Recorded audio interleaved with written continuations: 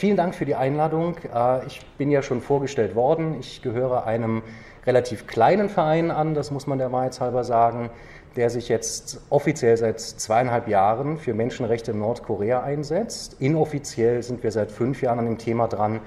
Viele von Ihnen werden wahrscheinlich wissen, dass das ein Thema ist, zu dem man sehr schwer Zugang bekommt, da Nordkorea ja als das isolierteste Land und abgeschottete Land der Welt gilt. Darüber werden wir heute auch sprechen. Und ich habe schon häufiger Vorträge zu dem Thema natürlich gehalten und habe mir eine Angewohnheit angewöhnt. Ich eröffne das immer mit einem kleinen Video, das werde ich Ihnen jetzt auch einmal zeigen. Das ist ein Musikvideo aus Nordkorea und ich glaube, es gibt Ihnen einen kleinen Eindruck, worüber wir später noch sprechen werden. Es wird heute ja auch um die Ideologie gehen und damit wollen wir erstmal beginnen.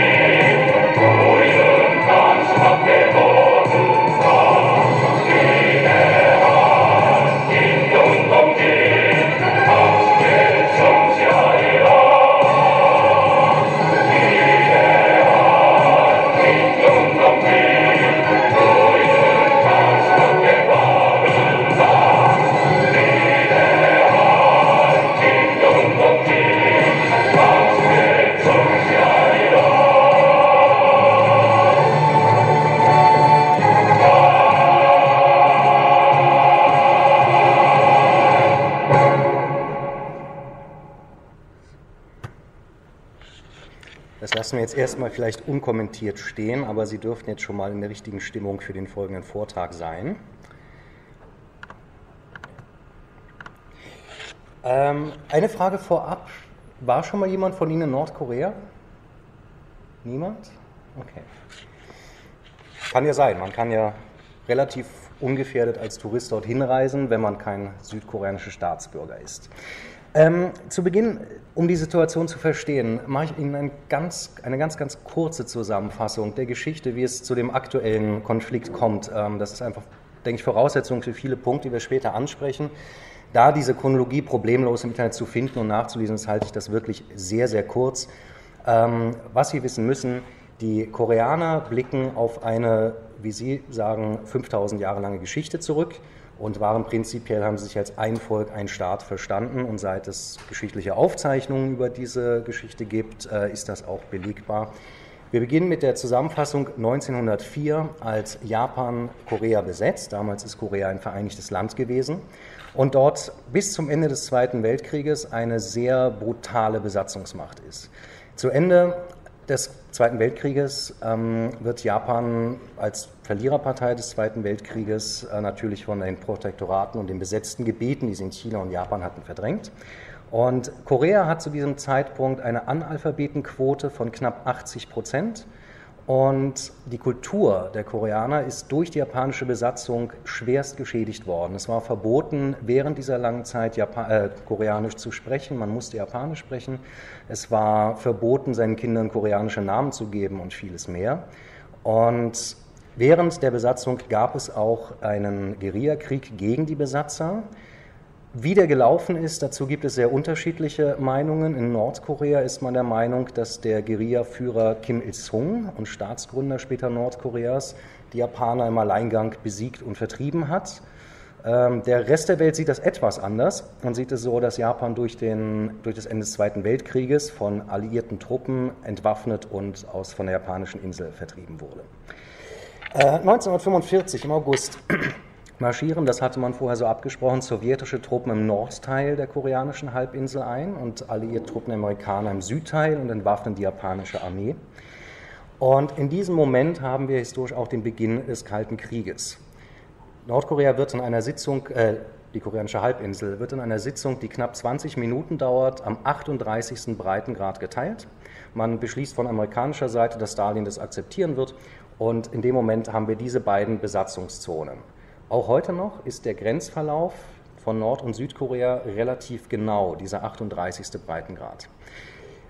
Für Nordkorea soll Kim Il-sung, der Nordkorea als kommunistische Diktatur gründet, oder man würde es dort nicht Diktatur nennen zu der Zeit, eine Ideologie entwickeln, mit der man das Volk relativ schnell auf den Kommunismus einschwören kann. Es gibt bereits kommunistische Kräfte in Korea auf beiden Teilen der Halbinsel.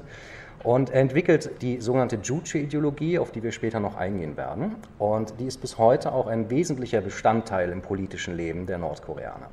In Südkorea wird ein Exilkoreaner, Syngman Rhee, der in Amerika lange gelebt hatte, ich glaube, ich kann das so sagen, als Präsident eingesetzt. Es gibt zwar Wahlen, die liefen aber auf beiden Teilen der Halbinsel sehr undemokratisch ab. Kommunisten wurden im Südteil der Insel verfolgt und äh, gehindert zu wählen zum Beispiel.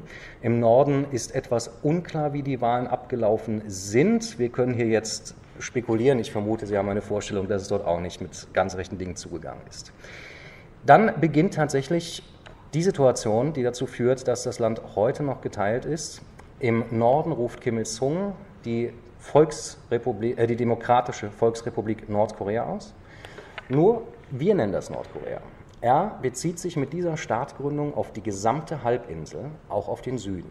Und wenig später ruft im Süden Syngman Rhee die Republik Korea aus und bezieht sich genauso auf den Norden. Bis heute hat Südkorea Nordkorea nicht als Staat anerkannt und sagt offiziell, dass die Grenzen Südkoreas die gesamte Halbinsel umfassen und Nordkorea eine Art politischer Fremdkörper auf dem Territorium ist, während Nordkorea sagt, Südkorea sei eine, immer noch von den Amerikanern besetzt und wäre völlig im Griff der amerikanischen Politik und würde dafür missbraucht werden. Kim Il-sung möchte die Wiedervereinigung herbeiführen mit Gewalt und bereitet einen Angriff auf Südkorea vor. Dafür braucht er die Zustimmung von Mao und Stalin und die bekommt er 1950. Mao war relativ früh bereit, diesen Krieg mit zu unterstützen. Stalin hatte lange gezögert. 1950 gibt er sein Okay und damit ist die Sache beschlossen. Am 25. Juni dann überschreitet die nordkoreanische Volksarmee, unterstützt durch einige russische Piloten, russische Technik und chinesische Technik, den 38. Breitengrad und beginnt den Koreakrieg. Die Geschichtsbücher im Norden stellen das andersrum dar und sagen, Südkorea hätte angegriffen. Wissenschaftlich betrachtet scheint Südkorea mit seiner Darstellung recht zu haben, natürlich. Ähm, relativ schnell gelingt es der nordkoreanischen Armee, fast die gesamte Halbinsel einzunehmen, da sich die amerikanischen Truppen bereits auf dem Rückzug befanden und Truppen abgezogen haben aus Südkorea. Allerdings ist man nicht bereit, Südkorea aufzugeben und relativ kurz nach dem Beginn des Krieges landen große Truppenverbände mit einem sehr waghalsigen Landungsmanöver etwas unter dem 38. Breitengrad und können die Nordkoreaner schnell zurückschlagen. Wenige Wochen später steht, oder Monate, Entschuldigung, steht die Armee der Vereinten Kräfte der südkoreanischen Armee und der Amerikaner zusammen mit einem NATO-Mandat waren auch Truppen aus Kanada und allen möglichen der Welt beteiligt, schon fast an der chinesischen Grenze. Und in diesem Moment ist bereits die gesamte Halbinsel einmal mindestens von Truppen der Gegenseite eingenommen worden und die Bevölkerung hat bereits sehr stark darunter zu leiden gehabt. Es gibt Säuberungsaktionen auf beiden Seiten gegen vermeintlich Unterstützer des anderen Regimes. Es gibt unzählige Kriegstote natürlich, auch reguläre. Und es gibt auch Massaker von Soldaten an Zivilisten. In dem Moment, wo jetzt aber diese alliierten Truppen der Südkoreaner und äh, der Vereinigten Staaten an der chinesischen Grenze ankommen, befiehlt Mao großen Truppenverbänden sogenannter Freiwilliger, wie gesagt, Sie finden das im Detail alles online, deshalb mache ich das jetzt sehr kurz, äh, in den Krieg einzugreifen und drängen die Truppen in einem heillosen Rückzug zurück hinter den 38. Breitengrad. Dort fährt sich dieser Krieg fest. Äh, von der amerikanischen Seite aus werden riesige Flächenbombardements verübt. Und allein um Ihnen auszudrücken, welch katastrophale Folgen der Koreakrieg hatte für die Bevölkerung, äh, möchte ich Ihnen eine Zahl nennen. Wir haben in Deutschland während des Zweiten Weltkrieges ja diese Luftschlachten und Flächenbombardements gehabt. Während dieser Feuerstürme in Dresden und Hamburg beispielsweise sterben im Durchschnitt 1,8 bis 2,5 Prozent der Bevölkerung, also in diesen Worst-Case-Szenarien eines Bombardements im Zweiten Weltkrieg. Im Durchschnitt sterben bei den Bombardements in Nordkorea bis zu 7 Prozent der Bevölkerung bei jedem einzelnen Bombardement. Man hatte A, sehr schlechte Gebäude, die sehr leicht brennbar sind und man hatte auch von anderer Seite gelernt, wie man diese Bombardements effizienter machen kann. Pyongyang ist nach dem Zweiten Weltkrieg, die Hauptstadt Nordkoreas, eine Ebene.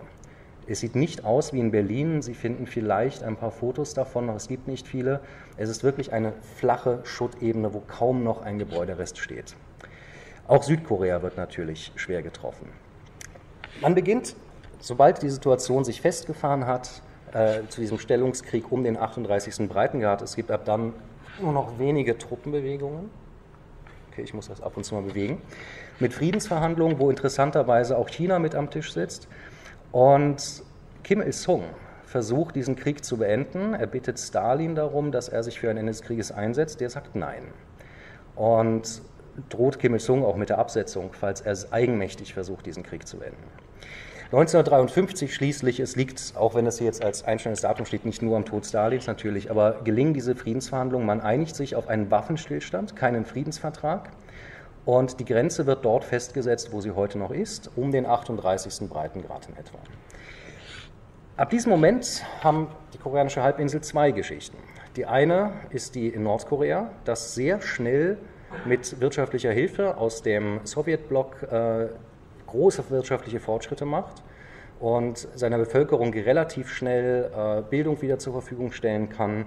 Nordkorea boomt viel stärker als Südkorea, das noch eine sehr chaotische Geschichte hat, auch Militärdiktatur wird unter Park Chung-hee. Und ähm, in den 90er Jahren ändert sich das plötzlich dramatisch. Südkorea ist heute die zehntgrößte Wirtschaftsmacht der Welt. Das ist sehr beeindruckend bei 50 Millionen Einwohnern. Nordkorea ist heute eines der ärmsten Länder auf der gesamten Welt.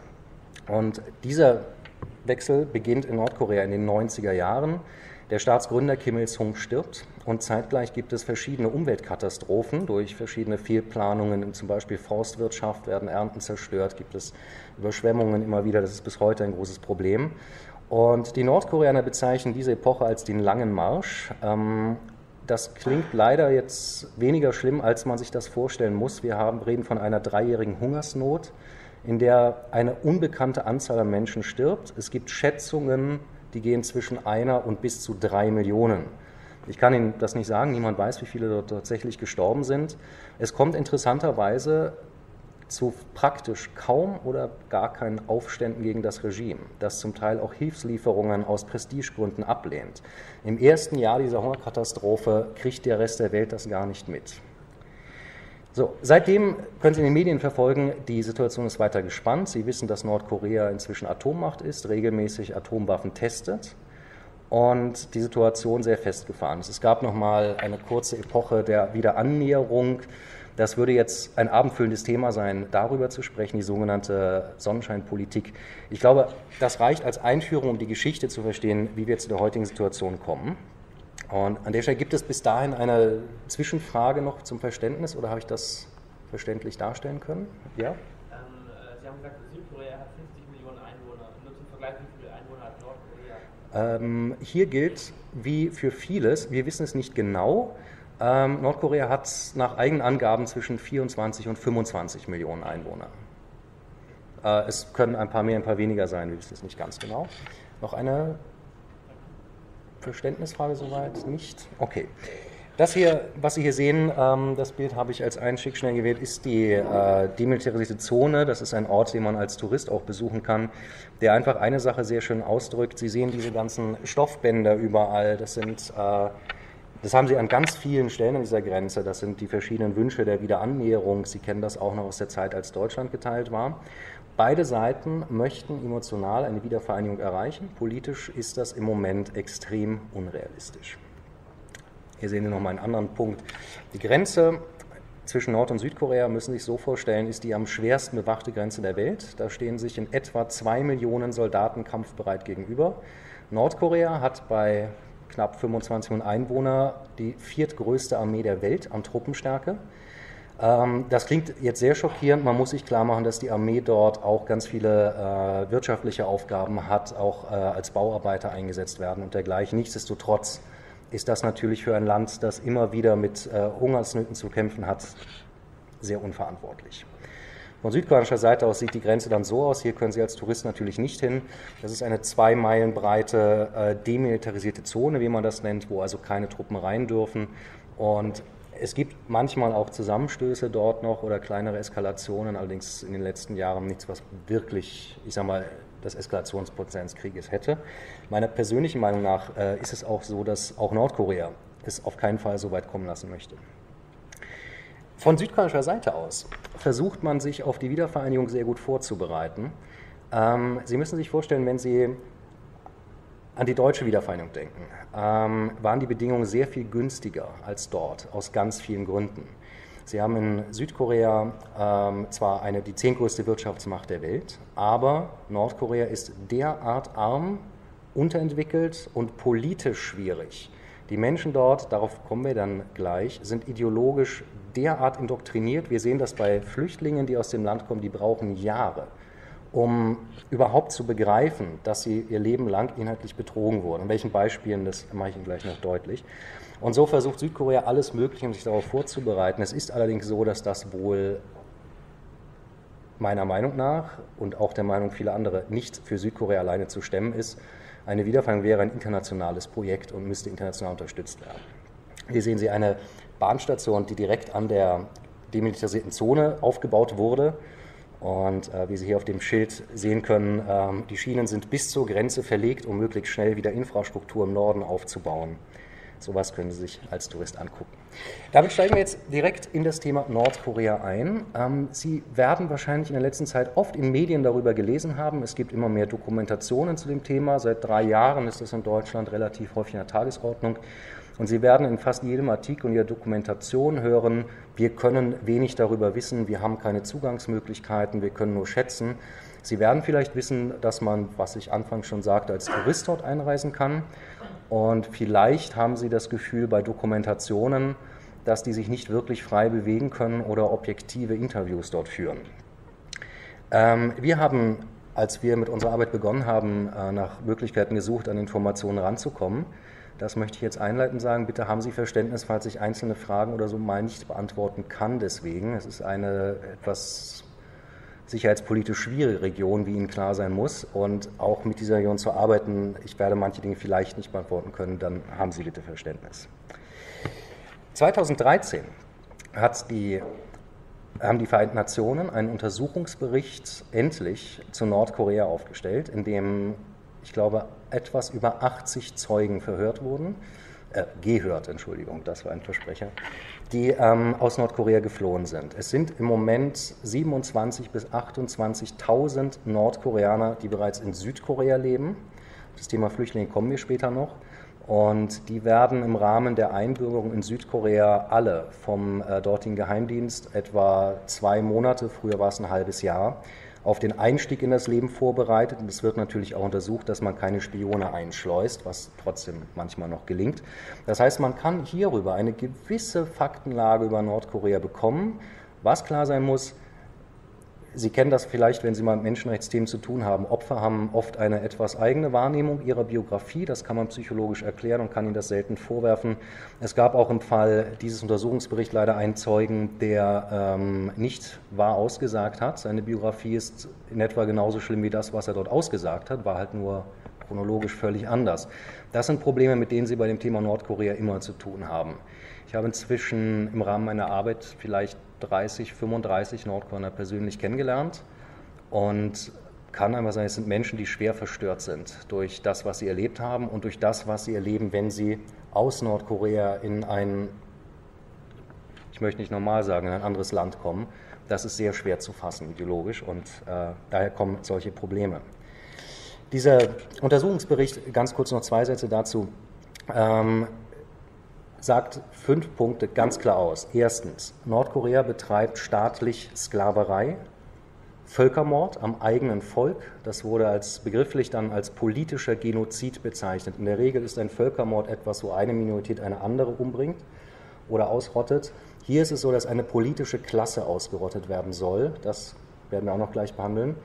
Dann hat die Untersuchungskommission wortwörtlich mehrfach darauf hingewiesen, dass die Schwere der Menschenrechtsverletzungen in Nordkorea durchaus mit dem Verbrechen der Deutschen im Dritten Reich gleichzusetzen seien am Schwierigkeitsgrad. Ähm, und das ist ein Punkt, warum meiner Meinung nach es sehr wichtig ist, dass sich auch europäische NGOs anfangen, um dieses Thema zu kümmern.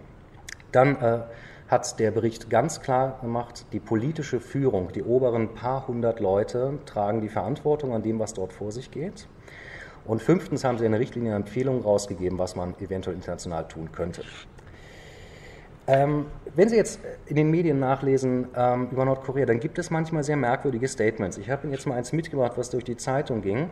Der Herr André Lüthi, das ist der Geschäftsführer von Globetrotter, hat ähm, ein Interview gegeben, nachdem er Nordkorea kürzlich besuchte und er beschrieb das Land wie folgt. Es ist ein Land, in dem die Leute auf einmal entspannt seien, äh, die Universitäten seien gut, Nordkorea hätte eine der niedrigsten Analphabetenquoten in ganz Asien. Ähm, Produkte aus den USA seien dort inzwischen legal. Das war früher etwas, was sie eventuell in ein Lager für politische Gefangene gebracht hätte. Und äh, es sei ein Land, wo man als Tourist super hinreisen kann. Ich will dem Herrn jetzt natürlich keine wirtschaftlichen Interessen unterstellen, auch wenn Nordkorea inzwischen sehr auf Tourismus setzt. Aber die Frage ist, wie kommt sowas zustande? Und deshalb fragte ich, ob jemand von Ihnen mal da war.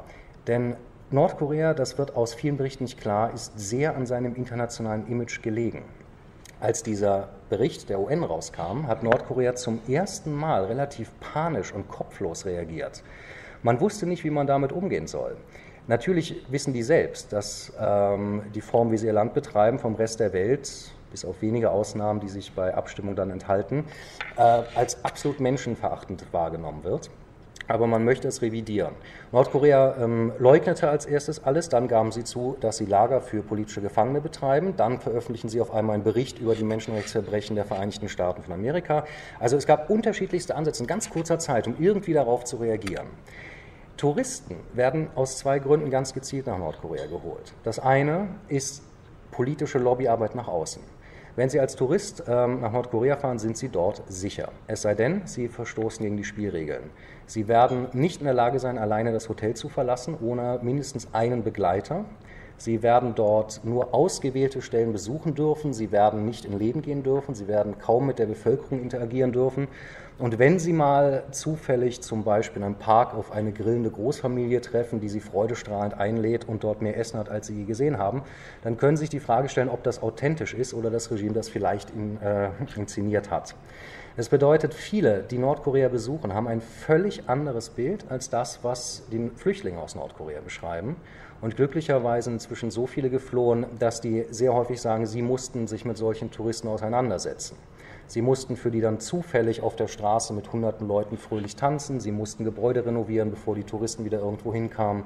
Es gibt Berichte, dass ähm, zum Beispiel Geschäfte in Laufweite der Routen, wo Touristen langgehen, dann mit Plastikfrüchten und Lebensmitteln bestückt werden, ohne Ende, um die zu täuschen.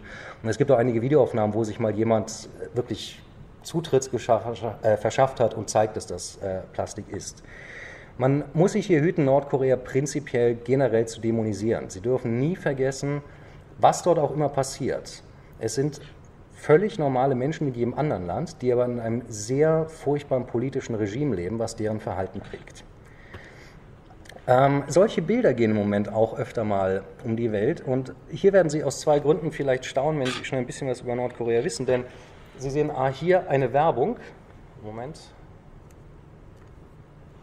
Ähm, und bisher hieß es in Dokumentation prinzipiell, es gibt dort keine Werbung. Und diese Werbung wirbt für die nordkoreanische Automarke Peace Motors. Und ähm, hier haben sie sogar einen großen Fernseher für Public Viewing, allerdings statt Fußball läuft hier Nachrichten und äh, Propaganda.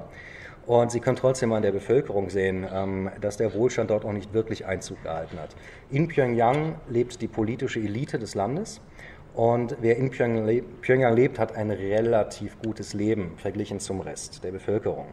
Solche Bilder verunsichern Sie natürlich. Sie würden wahrscheinlich nicht denken, dass äh, so ein Regime aussieht, ähm, das ungefähr 120.000 Menschen in Lagern für politische Gefangene äh, einsperrt, auch auf Lebenszeit.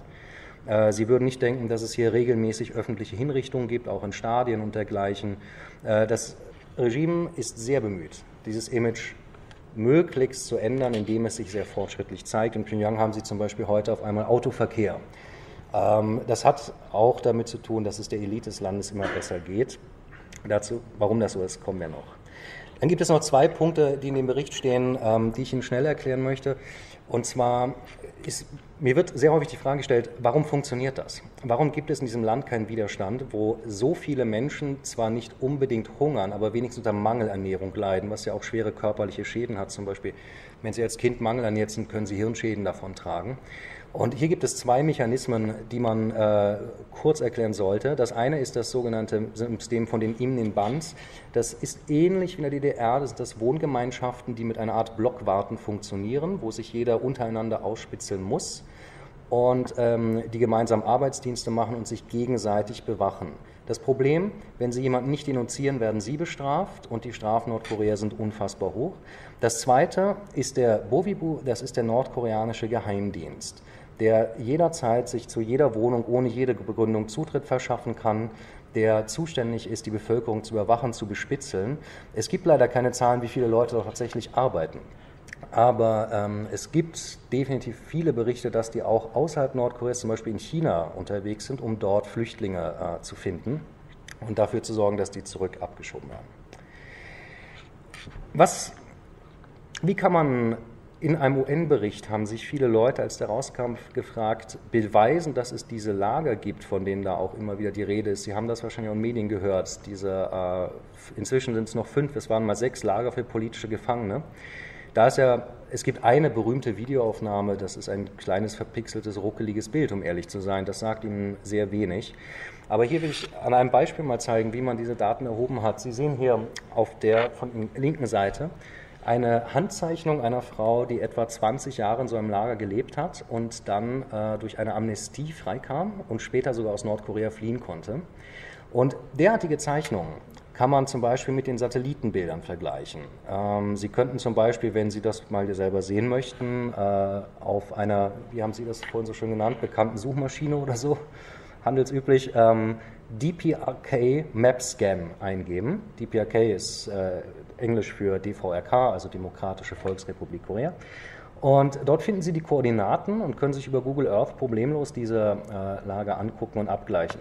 Sie sehen hier zum Beispiel einen klaren Unterschied. Das sieht schon anders aus, auch der Verlauf des Flusses. Sie können aber sehen, und so hat die Untersuchungskommission unter anderem auch gearbeitet, dass die Struktur von dem Lager derart ähnlich ist, dass derjenige dort drin gewesen sein muss, um das so detailliert angeben zu können. Wo ist welches Gebäude und so weiter. Und das äh, war zum Beispiel einer der Mechanismen. Dann, und jetzt mute ich Ihnen ein paar hoffentlich nicht zu verstörende Bilder zu, ist es so, dass, ähm, ich sagte, es sind ungefähr 28.000 bereits in Südkorea und die werden alle verhört. Die sind Menschen, die jetzt in so einem Lager waren, natürlich psychisch gebrochen und die verarbeiten das mit Kunst, äh, mehr oder weniger. Also sie zeichnen oft Dinge, die sie in diesen Lagern erlebt haben. Nun ist das natürlich sehr individuell, wie jemand so eine Zeit erlebt. Was aber sehr schnell auffällig wurde, die Berichte von Leuten, die sich nicht gekannt haben können, decken sich sehr gut darin, wie diese Lager funktionieren, welche Form von Willkür und Bestrafung dort herrscht. Ähm, bei den Lagern für politische Gefangene ist es so, da kommt man rein, um dort drin zu sterben. Die Überlebenserwartung scheint so im Durchschnitt bei vier, fünf Jahren zu liegen. Sie werden durch äh, massive Zwangsarbeit und äh, absolute Unterernährung dort sozusagen, äh, müssen sich zu Tode arbeiten.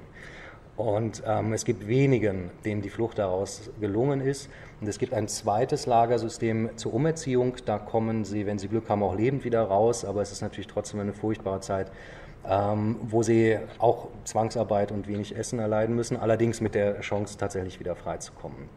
Ähm, das ist jetzt das schlimmste Bild, was ich in dem Rahmen zumute. Es gibt noch ein großes Problem in Nordkorea und das ist, dass innerhalb der Ideologie eine Rassenideologie herrscht. Nordkorea hat ähm, ein großes Interesse daran, die koreanische Rasse reinzuhalten.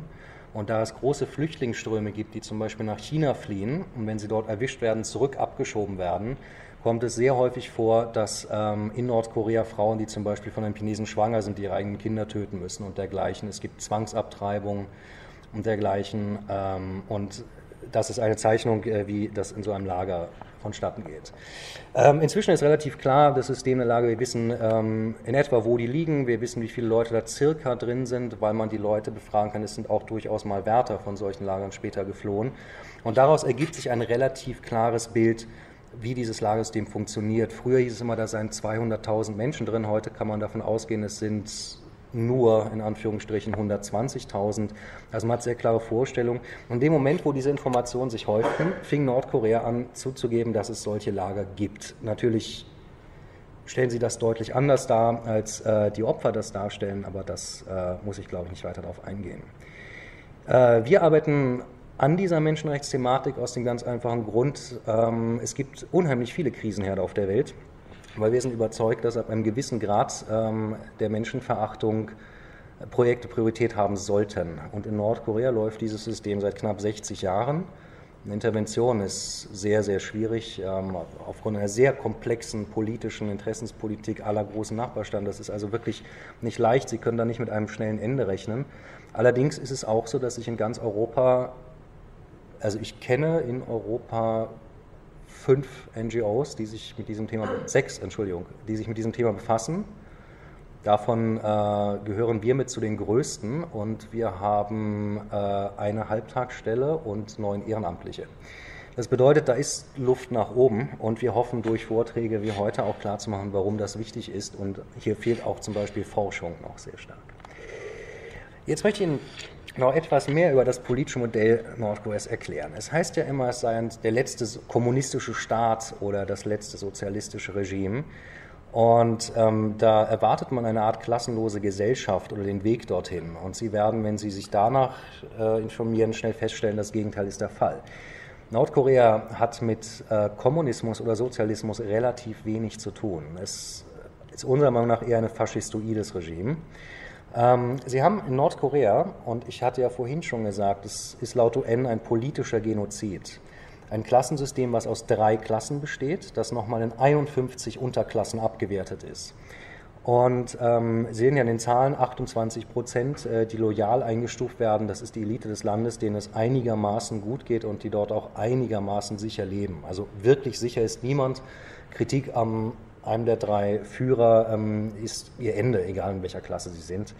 Die 45 Prozent, die als schwankend eingestuft werden, sind äh, aus der Perspektive eines Menschenrechtlers, äh, leben die unter höchst bedenklichen Umständen außerhalb der großen Städte auf dem Land, wo die Versorgung katastrophal ist. Und die feindliche Klasse, deshalb wurde das als politischer Völkermord bezeichnet, ähm, soll weg. Das sind Leute, die äh, zum Beispiel Großeltern hatten, die mit den Japanern in der Besatzungszeit zusammengearbeitet haben. Und in Nordkorea ist man im Rahmen dieser Rassenideologie auch der Meinung, dass sich sowas wie Verrätertum über das Blut vererbt. So werden sie zum Beispiel in Nordkorea äh, als Familienvater, der zum Beispiel einen leicht rebellischen Sohn hat, vor ein Problem stehen. In Nordkorea gilt Sippenhaft für drei Generationen. Und wenn Sie jetzt einen Sohn hätten, der, sagen wir mal, sich kritisch äußert, da reicht es schon, sich über zu wenig Essen zu beschweren, müssen Sie entscheiden, ob Sie den Sohn melden, der dann im Zweifel ins Lager kommt, aber Sie haben vielleicht den Rest der Familie gerettet. Wenn Sie das nicht tun und er wird erwischt, dann gelten Sie als mitschuldig, drei Generationen der Familie und werden bestraft. Man kann hier auch, das muss man auch sagen, es gibt kein klares Rechtssystem dort, das ist so ein bisschen nach politischer Wetterlage. Früher wurden Flüchtlinge, die Nordkorea verlassen haben und zurückdeportiert worden, in der Regel hingebracht oder äh, umgebracht oder lebenslang in ein Lager für politische Gefangene äh, eingesperrt. Heute ist das anders. Ähm, durch große, die großen Flüchtlingszahlen macht man das nicht mehr. Heute werden die sehr hart umerzogen, wie man das dort nennt, und äh, dann manchmal in die Gesellschaft wieder etabliert. Was aber passiert? Sie werden im Klassensystem abgestuft in die feindliche Klasse natürlich. Ähm, dieses Klassensystem entscheidet über ihr gesamtes Leben komplett. Ähm, oh, Zum Beispiel über medizinische Versorgung. Das sind Bilder, die wir mal machen konnten aus einem Vorzeigekrankenhaus. Ähm, das ist kein Abfall, den Sie hier sehen. Das sind Medikam äh, Instrumente, die dort präsentiert wurden, die im regelmäßigen Gebrauch sind. Nordkorea hat ein solches Problem, an Medikamente zu kommen. Selbst kann man das noch nicht richtig herstellen. Sie haben Glück, wenn Sie dort medizinische Hilfe bekommen, dann gehören Sie zur oberen Klasse. Allerdings ist es so, das haben wir schon sehr vielen gehört, auch von Ärzten, die im Land ähm, über NGOs zum Beispiel geholfen und ausgebildet haben, dass Operationen auch durchaus ohne Narkose stattfinden müssen, weil die Mittel fehlen. Dann benutzt man Schnaps, wenn vorhanden. Also und in der Unterschicht haben sie einfach äh, verloren, wenn sie irgendwie krank werden und Behandlung brauchen. Welchen Zugang sie zu medizinischen Dienstleistungen bekommen, regelt dieses 51-stufige Klassensystem. Dasselbe, ist die Batterie, glaube ich, leer. Ähm, manchmal werden Touristen durch äh, Vorzeikliniken geführt, die dann anders aussehen. Da haben sie im Eingangsbereich natürlich immer die Bilder, wie Kim Il-sung die Klinik besucht und Kim Jong-il erläutert hier gerade, wie wichtig eine gute medizinische Versorgung ist. Das Problem ist, dass Nordkorea sich inzwischen so weit von dem Stand in anderen Ländern distanziert hat, dass die selbst gar nicht mehr oft mitkriegen, wie lächerlich sie sich mit solchen Darstellungen machen und oft gar nicht realisieren, dass einem westlichen Besucher des Landes dass der darauf nicht mehr reinfallen kann, einfach wenn er sieht, was dort vor sich geht. Wie gesagt, das ist hier ein Vorzeigekrankenhaus gewesen. Ähm oh, und hier habe ich leider kein Foto mehr einbauen können. Äh, ich habe es auch vorhin schon ähm, in etwa gesagt. Also als Tourist, wie gesagt, äh, ich wollte mich hier nochmal darauf beziehen, ein Beispiel zeigen. Es gibt verschiedene Reiseagenturen, die bieten an, nach Nordkorea zu fahren. Und ich hatte ja gesagt, Nordkorea möchte den Tourismus ausbauen. Was bekannt ist, ist Folgendes. Äh, der nordkoreanische Geheimdienst ist in sehr, sehr viele unterschiedliche Abteilungen aufgestaffelt. Der Bovibo, den ich vorhin ansprach, die Geheimpolizei, ist zuständig für die Loyalität der Bürger und äh, potenzielle Verräter zu finden. Aber auch der Tourismus ist dem Geheimdienst unterstellt, und zwar der Abteilung, die heißen dort übersetzt Zimmer 38, für Devisenbeschaffung. Das heißt, es ist ganz klar, Nordkorea hat durch die ganze Sanktionspolitik kaum Möglichkeiten, an irgendeiner Form der Wirtschaft teilzunehmen. Touristen ins Land lassen, wird aber von vielen Seiten sehr positiv gesehen. Die Idee, sie können mit der Bevölkerung vielleicht in Kontakt kommen, sie bringen ihre eigenen Ideen von Freiheit, Demokratie und so weiter mit.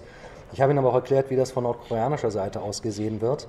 Das heißt, wenn Sie vorhaben, als Tourist hinzufahren, ich werde Ihnen nicht sagen, tun Sie es nicht, aber wägen Sie ab, dass Sie Devisen ins Land bringen und dass Sie wahrscheinlich nicht authentisch mit irgendjemandem dort äh, interagieren können in irgendeiner Form. Ähm, Juche ist das Kernelement der nordkoreanischen äh, politischen Ideologie, was den gesamten Alltag jedes Nordkoreaners prägt. Ich weiß nicht, haben Sie schon mal das Bild hier oben äh, von diesen Massenveranstaltungen, hat da schon mal jemand gesehen von Ihnen bestimmt, oder? Das gibt es Fernsehen. Ähm, das wirkt auf den Fotos immer etwas kleiner, als das ist. Also in dieser diese Wand da hinten mit den Bildern, das sind äh, junge Jugendliche und auch Schulkinder, die das jahrelang üben. Die halten Karten hoch und damit werden auch zum Teil sogar bewegte Bilder erzeugt. Das sind 20.000, die dort sitzen. Und bei diesen ganzen Tanznummern, die Sie hier sehen, hier sehen Sie ein so ein Bild, äh, das geht zwei Stunden, machen bis zu 50.000 Menschen mit, die das ein Jahr lang trainieren. Heute finden diese Spiele, das Arirang-Festival, wie das heißt, nicht mehr statt. Ähm, ich glaube, vor drei Jahren hat es aufgehört. Aber da sehen Sie, welcher Aufwand betrieben wird, um Touristen zu täuschen. Äh, jeder Tourist wurde zu diesen Spielen geschleppt und das war auch immer die Hauptsaison, wenn diese Spiele stattfanden. Aber nicht nur, dass jetzt Nordkoreaner statt äh, ihren Lebensunterhalt zu sichern an solchen Projekten mitarbeiten müssen. Ähm, einfach drei kleine Beispiele. Sie sehen diesen einen Button hier. Ich kann mich immer vielleicht umdrehen, weil das Mikro nicht geht. Äh, jeder Nordkoreaner ist verpflichtet, den an seiner Kleidung zu tragen. Ich habe vor vier Jahren mal einen relativ jungen nordkoreanischen Flüchtling interviewen können, der mir eine Geschichte erzählt, die ich Ihnen ganz kurz nur sagen will. Er musste zu einer Parteiversammlung zu Fuß gehen und sein Button war schmutzig. Und er hatte einen Reservebutton dabei und hat den schmutzigen, ich weiß nicht, ob er zerkratzt war oder er war auf jeden Fall nicht mehr, nicht mehr vorzeigbar, hat er weggeworfen am Feld und ist dann schnell mit seinem Ersatzbutton los und ist dann zurück und konnte aber nachts nicht ruhig schlafen, weil dieser Button lag ja da. Und er hatte Angst, dass jemand den findet und ihm zuordnen kann. Eine sehr absurde, unbegründete Angst, denn die sehen ja alle gleich aus und davon gibt es mehr als Einwohner. Auf jeden Fall ist er mitten in der Nacht im Dunkeln auf dieses Feld zurück und hat diesen Button gesucht. So große Panik hatte er davor, dass jemand den findet und ihn zuordnen kann. In jedem Raum in Nordkorea müssen die Porträts der geliebten Führer hängen. Das ist Vorschrift, immer im repräsentativen Wohnbereich in der Regel. Und dazu ist Nordkorea überzogen mit Statuen von Kim Il-sung, Kim Jong-il und inzwischen beginnt das auch mit Kim Jong-un und äh, so kleinen Stelen, wie Sie hier eine sehen. Ähm, kann jemand Koreanisch von Ihnen zufällig? Ist ein Koreaner vielleicht da? Aber übersetzen auch? Okay. Ähm, ich kann auch kein Koreanisch, aber ich habe es mir natürlich übersetzen lassen. Äh, auf dieser Tafel steht sinngemäß die vom geliebten Genossen General Kim, Il, äh, Il-sung angesehene Kiefer. Äh, mit Datum natürlich. Das basiert darauf, dass er dort vorbeilief und sagt, oh, das ist aber ein schöner Baum. Zack, Gedenktafel. Äh, so absurd wird dieser Kult im gesamten Land betrieben. Und so lächerlich das auf uns wirkt, es funktioniert. Viele Nordkoreaner glauben wenigstens partiell diesem Führerkult. Das ist für uns schwer vorstellbar, aber wenn Sie mal irgendwann Nordkoreaner kennenlernen, werden, werden die Ihnen das bestätigen. Und zum Teil ist es auch so, dass die selber noch sehr merkwürdige Ansichten über einzelne Aspekte haben. Ich hatte vor kurzem einen Nordkoreaner getroffen, der vor vielen Jahren geflohen ist und der sich total aufregte, wie inkompetent und dumm und anmaßend Kim Jong-un ist. Und ich wollte ihm da jetzt auch nicht widersprechen, und er sagte mal, Idiot und so, er konnte auch nicht so gut Deutsch, aber beschimpfte ihn wild. Und dann fragte ich ihn, was er denn von Kim Il-sung hält. Und da wurde er ganz ehrfürchtig und sagte, ja, der war noch natürlich ein sehr guter Führer und der hat alles in Ordnung gebracht im Land. Und also, Sie sehen, diese Indoktrinierung, und kann noch gleich zeigen, warum wird äh, funktionieren. Ich muss mal nach der Zeit gucken. Wie lange rede ich jetzt schon? Oh ja. Ähm, ich lese noch Spaß vor, ich wollte so ein paar Worte sagen. Ähm, Sie können, wenn Sie ähm, über die Theologie lesen wollen, gibt es einen ganz einfachen Zugang. Pyongyang veröffentlicht die, ich glaube, 1200 Bände zum Beispiel, die von Kim Il-sung persönlich zu Lebzeiten geschrieben wurden, alle irgendwie so dick sind, äh, in allen Sprachen der Welt. Ähm, auf Deutsch gibt es eine Auswahl, aber zum Glück können bei uns alle Englisch. Ich lese mal einen, eine Einleitung von einem kleinen Büchlein äh, vor über Kim Jong-il. Kim Jong-il war der Führer der Demokratischen Volksrepublik Korea, DVRK, der weltweit Respekt genoss. Er war ein Genie in Ideologie und Theorie. Er systematisierte und entwickelte die Idee des Juche und der Songun-Idee, großartige Ideologien, die uns in die Ära der Unabhängigkeit führten. Unter seiner einzigartigen Führung wurde sein Land zu einem, in dem alle Menschen mit einem einzigen Herzen vereinigt sind, was einzigartig in der politischen Geschichte der Welt ist, und es wurde zu einer sozialistischen Festung, welche kein imperialistischer Feind, wie mächtig er auch sein mag, anzugreifen wagen würde. Kim Jong-ils Menschlichkeit, sein veredelnder Sinn für moralische Obligationen, außerordentliche Weisheit und Kenntnis, sein eiserner Glaube und Willenskraft wie seine unübertroffene Courage und Zähigkeit rühren alle Menschen auf der Erde. Ich weiß nicht, wie gerührt Sie von sowas sind, aber machen Sie sich klar, das könnten die meisten Bürger Nordkoreas, wie sehr viele andere solche Reden, problemlos jederzeit aufsagen, weil das ein Schutzmechanismus ist. Sie sehen im Stadtbild, wenn Sie jetzt nicht als Tourist mal da sein sollten, sehr häufig, dass Leute mit ähm, Papier laufen und dabei auswendig lernen. Und es wird Sie im Notfall schützen, wenn Sie sowas zitieren können. Und wenn Sie sowas immer wieder wiederholen, wiederholen, wiederholen, auswendig lernen, es bleibt irgendwann sitzen. Oh, das war jetzt doppelt. Ähm, der zweite Grund, warum das funktioniert, und hier muss ich jetzt mal was rauspixeln, Entschuldigung, machen Sie auch bitte kein Foto von diesem Bild. Ähm, jedes Kind in Nordkorea wird im Alter von einem halben Jahr in einen Kindergarten gegeben und lernt zeitgleich mit der Fähigkeit zu sprechen bereits die Ideologie. Ähm, fast jeder Nordkoreaner wird Ihnen erzählen, die ersten Worte, die die meisten Kinder Nordkorea sagen können, sind Mama, Papa und Danke, geliebter Führer. Und ähm, Sie, ich habe das Bild hier mal reingenommen, und Sie sehen, in welchem Alter die in diesen Kindergärten sind. Ähm, in diesem Kindergarten bleibt man, bis man in die Schule kommt. Während der Schulzeit kommt man dann in die Jugendorganisation, äh, die paramilitärisch ist und auch äh, zum Teil schwere Arbeiten verrichten muss. Also diese äh, Jugendpioniere werden zum Beispiel Bauarbeiten eingesetzt. Entschuldigung, ich habe ein leicht defektes Auge. Und wenn Sie jetzt jemanden ideologisch in diesem Alter bereits anfangen zu indoktrinieren, das sind Dinge, die kann man, das ist psychologisch wirklich messbar, kaum wieder aus einem Menschen rauskriegen komplett. Äh, das hier sind zum Beispiel Bilder, die in solchen Schulen hängen. Ähm, oben wird gezeigt, wie gut es nordkoreanischen Kindern geht und die vier Bilder unten ähm, zeigen, wie man dort Südkorea darstellt. So absurd das klingt, es gibt viele Nordkoreaner, die glauben, sie leben im reichsten Land der Welt, auch wenn sie hungern. Sie glauben wirklich der Propaganda häufig, dass es den anderen noch schlechter geht. Hier arbeiten manche NGOs in Asien zum Beispiel, indem sie gezielt Informationen ins Land schmuggeln. Und seien das Fotos, Wikipedia-Artikel oder auch Filme, um denen zu zeigen, es stimmt nicht. Der Rest der Welt ist einfach mal inzwischen über 50 Jahre weiterentwickelt als ihr. Und denen geht es gut. Ähm, auch wenn die meisten Nordkoreaner, die so, sowas zum ersten Mal in Kontakt kommen, dem nicht glauben und das für Propaganda halten, sehen Sie, wie aufwendig diese Propaganda produziert ist. Und da zeigt sich, dass da irgendwas nicht stimmen kann. Sie haben dieses Video gesehen, was ich zu Anfang zeigte. Das wirkte wahrscheinlich auf Sie recht alt.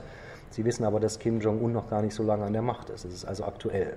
Und jetzt stellen Sie sich vor, wenn das der höchste Stand der Technik ist, was passiert, wenn Sie einen modernen Hollywood-Film auf einmal sehen. Da merken Sie, dass da irgendwas inhaltlich nicht ganz stimmen kann. Inwieweit das sinnvoll oder nicht ist, äh, will ich jetzt auch nicht weiter kommentieren. Äh, ja, hier nochmal ein Bild. Ähm, und hier habe ich nochmal Ihnen ein Beispiel noch mitgebracht über diese, äh, die, diesen Kult mit äh, den Gedenktafeln überall.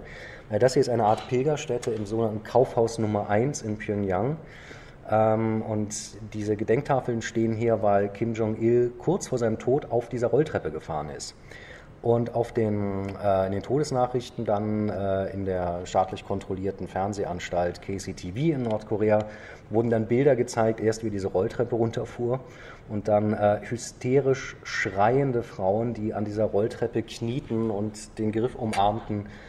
Ähm, früher war es so, als Kim Il-sung gestorben ist, dass man davon ausgehen kann, dass viele dieser emotionalen Ausbrüche tatsächlich authentisch und nicht gespielt waren.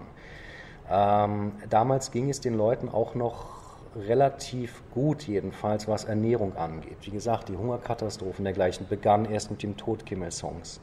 Das heißt, seit Kim Jong-il dann an der Macht war, der auch nochmal die Ideologie änderte in vielen Bereichen, da gab es dann die sogenannte Militär zuerst Politik und äh, verschiedene andere Ansätze, die schwer zu vermitteln waren, während das Volk hungert, haben auch wahrscheinlich sehr viele Nordkoreaner, auch wenn wir das natürlich jetzt nur schätzen können, sich selbst schon in einigen Punkten von dieser Ideologie abgekoppelt und spielen halt mit, weil sie wissen, das ist überlebenswichtig.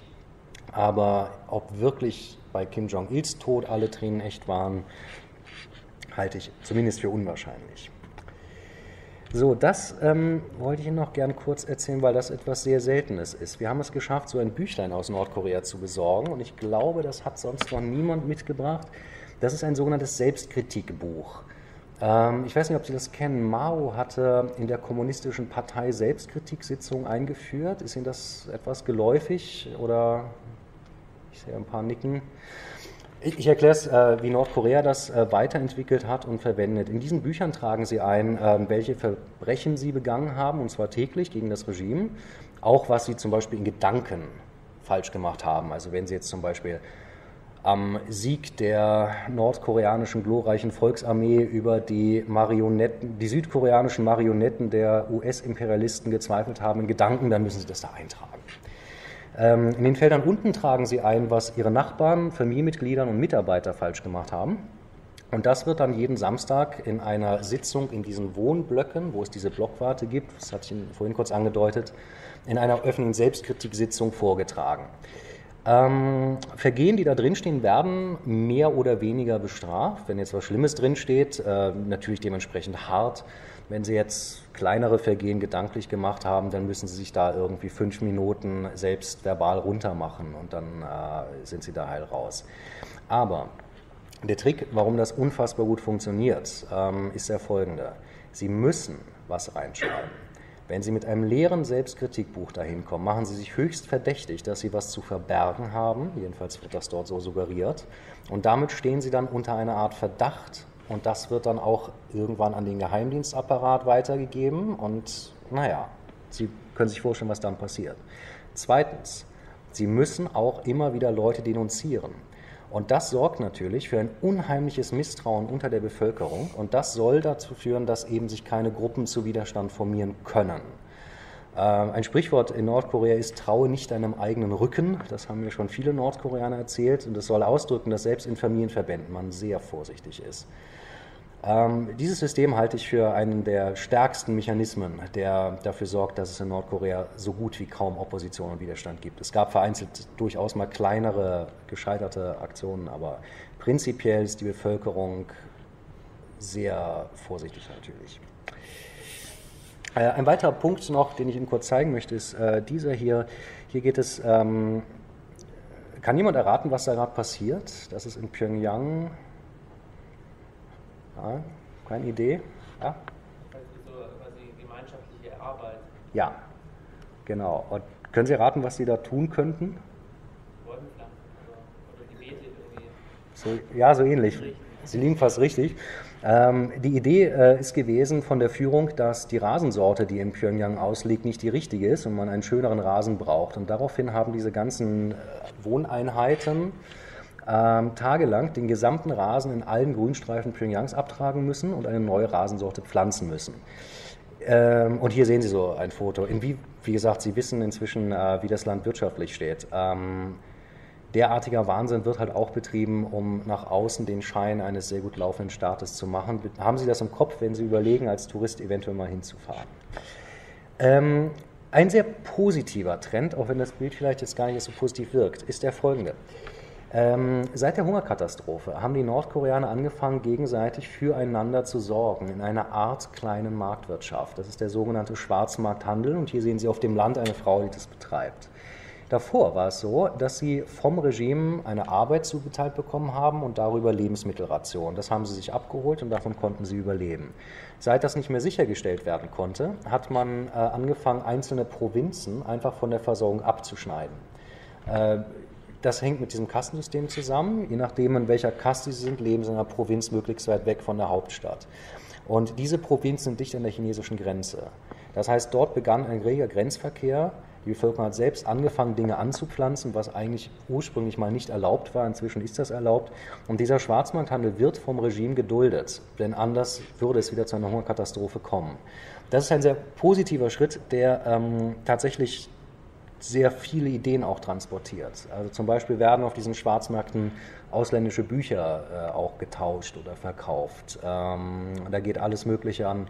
Also NGOs haben da zum Beispiel mal so kleine Abspielgeräte für DVDs, die sind sehr günstig, aber können halt DVD und USB lesen äh, reingeschmult.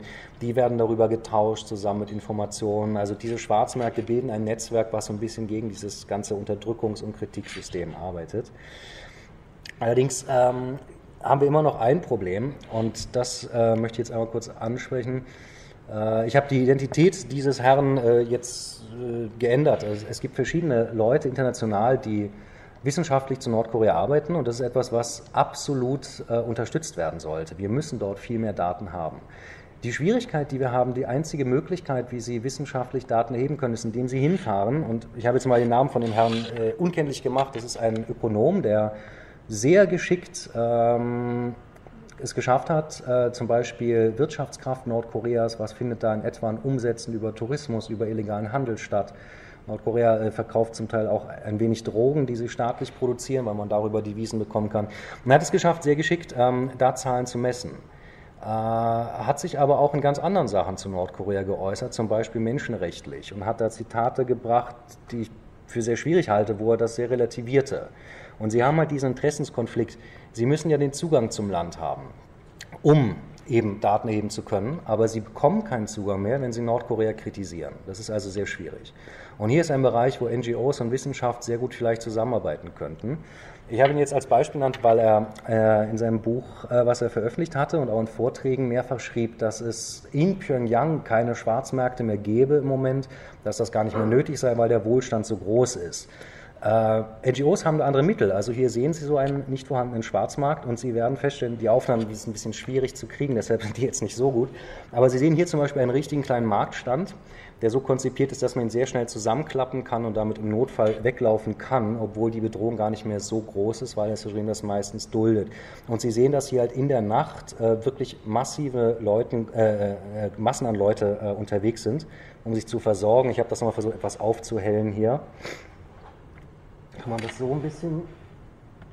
Ah, so viele. Äh, sie haben ganz viele so eine kleine Stände, wo Leute einfach mit einer Taschenlampe Ware beleuchten und das kann man mit einem Griff einpacken und weg sein zum Beispiel. Ein großer Teil der Bevölkerung Pyongyangs versorgt sich immer noch darüber. Wenn sie allerdings jetzt als Tourist einreisen, dann werden sie sowas nicht zu sehen kriegen natürlich und bekommen ein falsches Bild, denn sie sehen Autos, die auf den Straßen fahren, sie sehen Leute, die mit Handys telefonieren. Nordkorea hat einen Tablet-PC konstruiert, der dort im Umlauf ist. Also ich glaube, es ist unfassbar schwer, sich gegen diese geschickte Beeinflussung selbst abzuschotten im Land, wenn ich sehe immer wieder, dass es den Leuten dort gut geht. Aber ich bekomme eben diesen Ausschnitt zu sehen. Hier sehen Sie nochmal, äh, welche Größe das hat. Da gerade Stromausfall ist und Sie sehen, dass das hinten immer noch weitergeht mit dem Licht. Ich hier. Achso, Batterie ist leer. Also in diesem Rahmen ist es so, ähm, dass meiner Meinung nach Forschung dringend, dringend nötig wäre, aber auch vielleicht in Zusammenarbeit in irgendeiner Form mit NGOs stattfinden könnte. Damit meine ich jetzt gar nicht mal uns. Wir sind eher eine Art mehr, wir machen eher so eine Art Lobbyarbeit in Richtung Politik, dass da mehr mit diesem Thema gearbeitet wird. Aber es gibt in Südkorea sehr viele wissenschaftliche Einrichtungen, die tatsächlich große Mengen empirischer Daten erheben können. Die Schwierigkeit, die die haben, sind meistens sprachlich. Sie publizieren das auf Koreanisch und da fehlt es oft an Übersetzungen. Ähm, wir haben manchmal jetzt Sachen angefangen zu übersetzen, aber das können wir so natürlich in dem Umfang nicht leisten. Ich spreche noch einen kleinen Punkt an und dann bin ich auf Ihre Fragen sehr gespannt. Ähm, vielleicht können wir das, wenn jemand Interesse hat, auch hinter der Notfall nochmal per Mail rumschicken. Ähm, wir werden immer wieder gefragt, warum gerade Nordkorea? Ich habe mir darauf jetzt viele Antworten schon gegeben, aber der, am häufigsten kriegen wir jetzt hören, es ist so weit weg und es gibt so viele Regionen, wo es schlecht ist. Und deshalb haben wir gerade ein Projekt unterstützt, was was sehr Spannendes gefunden hat, und zwar nordkoreanische Arbeitskräfte in Polen. Vielleicht haben Sie das sogar medial ein bisschen mitbekommen. Ähm, es gab immer mal Gerüchte, dass es das gibt. 2006 gab es da schon mal in der polnischen Presse ein paar Berichte. Und jetzt bekamen wir aus einer südkoreanischen NGO Hinweise im letzten Jahr, dass das wohl wieder vermehrt ist und haben mit einer äh, äh, Medien GmbH, Vice News, wenn Sie das kennen, die haben öfter was zum Thema gemacht, äh, unterstützt, dass es eine Dokumentation darüber gibt. Und äh, in dieser Dokumentation haben wir A, Lebensbedingungen, wie die arbeiten, äh, festhalten können. Tatsächlich ist es so, das Regime verdient hier auch Devisen, indem es Arbeitskräfte äh, ins Ausland schickt. Insgesamt in Polen sind in den letzten Jahren ungefähr 1500 Arbeitsvisa für Nordkoreaner ausgestellt worden. Die Schwierigkeit bei der Sache, die werden nicht bezahlt. Die Bezahlung geht ähm, an nordkoreanische Sicherheitspersonal, was mitgeschickt wird, um auf die aufzupassen und die von der Bevölkerung isoliert zu halten. Das Auswahlverfahren ähm, ist auch sehr bekannt, wie das in Nordkorea funktioniert. Sie dürfen ins Ausland als Arbeitskraft, wenn sie Familie haben, die im Land bleibt. Und wenn sie abhauen, wird es dieser Familie sehr schlecht gehen, das wissen sie, sie kommen zurück. Ähm, dazu ist dasselbe aufgeflogen in Tschechien und in Malta, auch wenn wir da die genauen Zahlen noch nicht haben. Das ist ein Thema, was, glaube ich, zeigt, es ist nicht weit weg. Nordkorea, so klein dieses Land dann im Endeffekt ist, ist ein globales Problem. Es ist ein sicherheitspolitisches Problem und es ist ein menschenrechtliches Problem. Und Zwangsarbeiter, wie man das definieren muss, wir haben ein entsprechendes Papier im Europaparlament dazu eingebracht, äh, in den europäischen Mitgliedstaaten ist ein Thema, was wir, glaube ich, nicht ignorieren können. Und es ist eines von sehr, sehr vielen aufgrund der ganzen Zeit, wo ich das nur mal als Beispiel anbringe. Also Sie finden diese Doku online, äh, wenn Sie unter Vice News Nordkorea suchen. Der Titel ist Cash for Kim. Und äh, meiner Meinung nach ist die Dokumentation sehr, sehr gut geworden, was Weiß News dort produziert hat. Und es haben sich auch verschiedene polnische äh, Stellen dazu offiziell dort drin geäußert. Ähm, ich habe noch jetzt einen letzter Punkt. Ich hatte immer wieder gesagt, dass viele Leute fliehen. Ähm, das ist nicht ganz richtig gewesen. Inzwischen wohl nicht mehr, soweit wir das beurteilen können. Wir arbeiten dann mit einer Gruppe zusammen, die in dem Grenzbereich kontrolliert, wie viele Leute kommen da eigentlich rüber nach China. Und sie können nur über China fliehen, weil im Süden haben sie ja diese demilitarisierte Zone. An dieser Grenzregion ist, scheint es jetzt so zu sein, aus Berichten, dass die Wachen derart verstärkt wurden. Da wird natürlich auch scharf geschossen. Sie sehen hier, das ist schon aus einer älteren Dokumentation äh, ein Bild, was man leider häufiger dort sehen kann äh, dass Leute das äh, eben nicht schaffen, die Flucht und im Grenzfluss sterben. Ähm, und dazu kommt das zweite große Problem, wir wissen nicht, wie viele nach China geflohen sind. China akzeptiert nordkoreanische Flüchtlinge nicht als Flüchtlinge, sondern sagt, das sind Wohlstandsmigranten. Das hat ganz unterschiedliche Gründe, da könnten wir jetzt lange diskutieren, das sollten wir jetzt nicht anfangen, die Zeit ist nicht da. Aber ähm, China schickt Nordkoreaner, die sie aufgreifen, in der Regel zurück nach Nordkorea. Es hat da allerdings in der letzten Zeit auch ein paar interessante Ausnahmen gegeben. Ähm, ursprünglich, als diese Fluchtwelle in den 90ern anfing, Ende der 90er, haben die Nordkoreaner versucht, sich zum Beispiel auch Botschaften zu retten. Und hier sehen Sie Fotos, die DPA damals gemacht hatte, äh, wie chinesische Polizei und auch nachher Militär versucht haben, die Botschaften so abzuschirmen, dass da keiner rauskommt. Ähm, inzwischen ist es so, dass das keiner mehr versucht, denn die Botschaften dort sind derart abgeschottet in den Bereichen, wo Nordkorea hinkommen könnten, da haben sie keine Chance mehr. Und das ist dann auch wirklich jetzt mein letzter kurzer Punkt. Ähm, was bedeutet das, wenn Sie aus Nordkorea fliehen, um in ein sicheres Land zu kommen? Es gibt äh, welche, die nach äh, Europa kommen.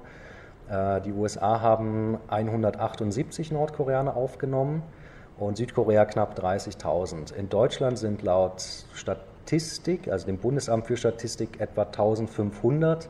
Es werden deutlich weniger sein. Wir vermuten, dass da ähm, oft mal aus Versehen Nord- und Südkorea verwechselt wurde. Aber es gibt auch in Deutschland, wie wir wissen, welche. Wir sind da auch in Kontakten. Aber wenn Sie wirklich in so ein sicheres Land kommen wollen, müssen Sie es schaffen, erstmal über die Grenzen nach China zu kommen. Dann müssen Sie es schaffen, aus China auszukommen. Und ähm, früher konnten sie in die Mongolei gehen, was sehr gefährlich ist, weil sie da eine kleine Wüste durchqueren müssen, wo sehr viele gestorben sind. Und sie können nach Laos, Kambodscha äh, und Thailand. Von da lässt man sie in der Regel nach Südkorea ausreisen, wenn sie die südkoreanische Botschaft dort erreichen. Äh, sie wissen, wie groß China ist und was das bedeutet. Ähm, es gibt viele NGOs, die in dem Bereich tätig sind, ähm, das unterstützen. Europäische NGOs können das leider auch nicht finanziell unterstützen. Das wäre per Definition Menschenhandel. Und das möchte von uns keiner in seiner Akte stehen haben. Insofern ähm, ist das eine Krise, die man vielleicht irgendwann langfristig diplomatisch nochmal angehen könnte, wenn China vielleicht diesen Status mal anerkennt, dass das wirklich verfolgte Flüchtlinge sind. Wie gesagt, eine Rückabschiebung nach ähm, Nordkorea kann den Tod bedeuten, kann Lager bedeuten oder auf jeden Fall die Situation sehr verschlechtern. Wie gesagt, wir wissen nicht, wie viele sich in China verstecken. Schätzungen sprechen von bis zu einer halben Million etwa, aber es gibt nur Schätzungen, man kann nur spekulieren. Gut, dann danke Ihnen für Ihre große Aufmerksamkeit bis hierher. Und freue mich auf Fragen. Bitte schön. Welche Rolle genau spielt China? Bezug auf Nordkorea. Es heißt ja immer wieder, dass China der Hauptverhinderer ist an Verbesserung der Lage, weil es irgendwie Nordkorea als Pufferzone zwischen Südkorea und dem eigenen Territorium sieht. Aber mir scheint das irgendwie so ein bisschen vorgeschoben, dieses Argument, weil es hat ja noch mehrere andere äh, Nachbarländer, zum Beispiel auch China, äh, Indien, das ja auch Atomwaffen hat. Also da wäre ja Nordkorea oder beziehungsweise ein vereinigtes Korea ein geringeres Übel als mhm. beispielsweise ähm, ja, also diese Antwort von mir ist jetzt meine persönliche Meinung. Das äh, muss ich hier zu Protokoll geben. Ähm, bedenken Sie, in Südkorea stehen im Moment 24.000 Marines an der Grenze, also amerikanische Truppen. Südkorea ist ein enger Alliierter der Vereinigten Staaten, das ist ja kein Geheimnis. Und wenn Sie sich mal an den Koreakrieg kurz zurückerinnern, in welchem Moment China da insgesamt knapp 1,8 Millionen Freiwillige in den Krieg geworfen hat. Das war der Moment, wo die alliierten Truppen der Südkoreaner und der Amerikaner an der, Gemeinde, an der chinesischen Grenze angekommen waren. Da eskalierte dieser Konflikt völlig, auch wenn das bereits vorbereitet und geplant war. Ähm, Sie haben in dieser Situation in Nordkorea treffen drei super Weltmächte aufeinander. Es gibt eine kleine Landgrenze mit Russland, es gibt eine große mit China und im Süden ist Südkorea mit amerikanischen Truppen im Land. Und das ist natürlich eine unfassbar kritische Situation. Nordkorea ist Atommacht, das sagen sie ganz offen und ich halte das für absolut glaubwürdig. Ähm, sie sehen ja die USA als ihren Erzfeind an und ähm, halten die USA für sehr kriegslüstern und haben gesagt, naja gut, wir haben gesehen, die USA haben noch nie ein Land angegriffen, was Atomwaffen hat, wir haben die zum Selbstschutz. Das äh, halte ich für durchaus vorstellbar, dass man das tatsächlich so sieht. Und ähm, wir haben jetzt tatsächlich das Problem, wie wollen Sie denn in so einem Regime zum Beispiel jetzt, sei es aus menschenrechtlichen Gründen, intervenieren in einer Atommacht? Das ist sehr schwierig. Und im Moment ist es meiner Meinung nach so, dass es für alle das bequemste, angenehmste ist, die Situation zu lassen, wie sie ist. Solange Nordkorea in sich stabil bleibt, und dieses Regime ist erschreckend stabil, egal wie viele Sanktionen sie verhängen. Tatsächlich ist es so, je ärmer die Bevölkerung ist, umso stabiler scheint dieses Regime zu sein. Ähm, es gibt auch entsprechende Statements von Kim Jong-il darüber. Also, ja, das soweit mal meine Antwort. Viel, viel mehr kann ich Ihnen dazu dann, glaube ich, nicht sagen. Ich hoffe, das war ein Hinweis. Ja. Auch nochmal zu China. Ähm, man hört ja also bei den ganzen Atomtests in der letzten Zeit, dass auch China jetzt allmählich äh, genug habe äh, von, von manchen äh. Mhm. Äh, findet da eventuell ein politisches Umdenken statt oder ist es einfach, oder würden Sie einschätzen, dass es eher von China halt, äh, sag ich mal, ähm, Gerede ist, um, um, um äh, auf den Zug eben aufzuspringen? Äh, ich bin persönlich kein China-Experte, aber bei dem Thema lässt sich nicht vermeiden, natürlich sich da genau solche Fragen zu stellen. Es ist so, ähm, China war lange Zeit, konnte man das absolut als einen Alliierten Nordkoreas betrachten, beziehungsweise eher andersrum natürlich. Ähm, das Problem, was es hier zu geben scheint, ist, dass Nordkorea sich nicht an Absprachen und Verträge hält. Ähm, es gibt verschiedene Verträge zwischen China und äh, Nordkorea. Zum Beispiel gibt es Sonderwirtschaftszonen, das soll im Moment auch ausgebaut werden. Und es gab da Bitten zu bestimmten Zeiten, bitte jetzt keine eskalierenden Atomtests zu machen. Und Nordkorea hatte mit Anlauf am genau dem ungünstigsten Tag erstmal eine Bombe getestet. Derartige Sachen machen eine Partnerschaft sehr, sehr schwer. Ähm, ich habe persönlich den Eindruck, dass China sich hier tatsächlich aber auch ein bisschen umformiert. Ähm, also man könnte zum Beispiel mal spekulieren, warum hat, Nord, äh, hat China so lange Nordkoreaner zurück abgeschoben? Der Bericht der Vereinten Nationen kam zustande, weil so viele Nordkoreaner befragt werden konnten auf einmal. Und in dem Moment wird das ein globales Thema, weil hier ein Völkermord passiert, laut UN. Äh, das konnte nicht passieren, solange keine Flüchtlinge rauskommen. Also das ist jetzt eine Spekulation, aber ich denke, die kann man durchaus mal diskutieren. Äh, China hat im Moment keinen Vorteil mehr davon. Es gibt eine unfassbare Problematik in diesem Grenzbereich. Sie haben massiven Menschenhandel, Zwangsprostitution, sie haben Drogenhandel ohne Ende in diesem Bereich und das alles im Wechsel von kriminellen Organisationen mit Nordkorea.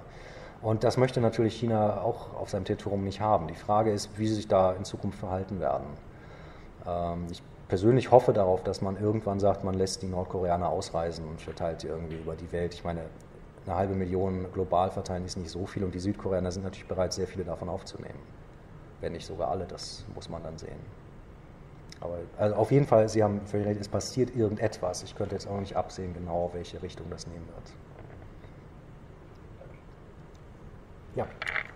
Kim Jong-un hat ja in den sogenannten westlichen Staaten ähm, auf der Straße für den Autonormalverbraucher ein gewisses Image sage ich mal. Also er wirkt ja mehr wie eine Comicfigur, mhm. denn wie eine ernstzunehmende Bedrohung.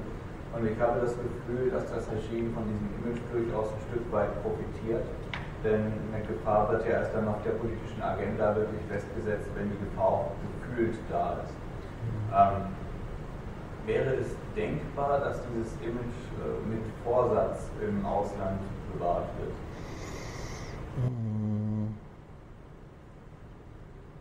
Schwer zu sagen.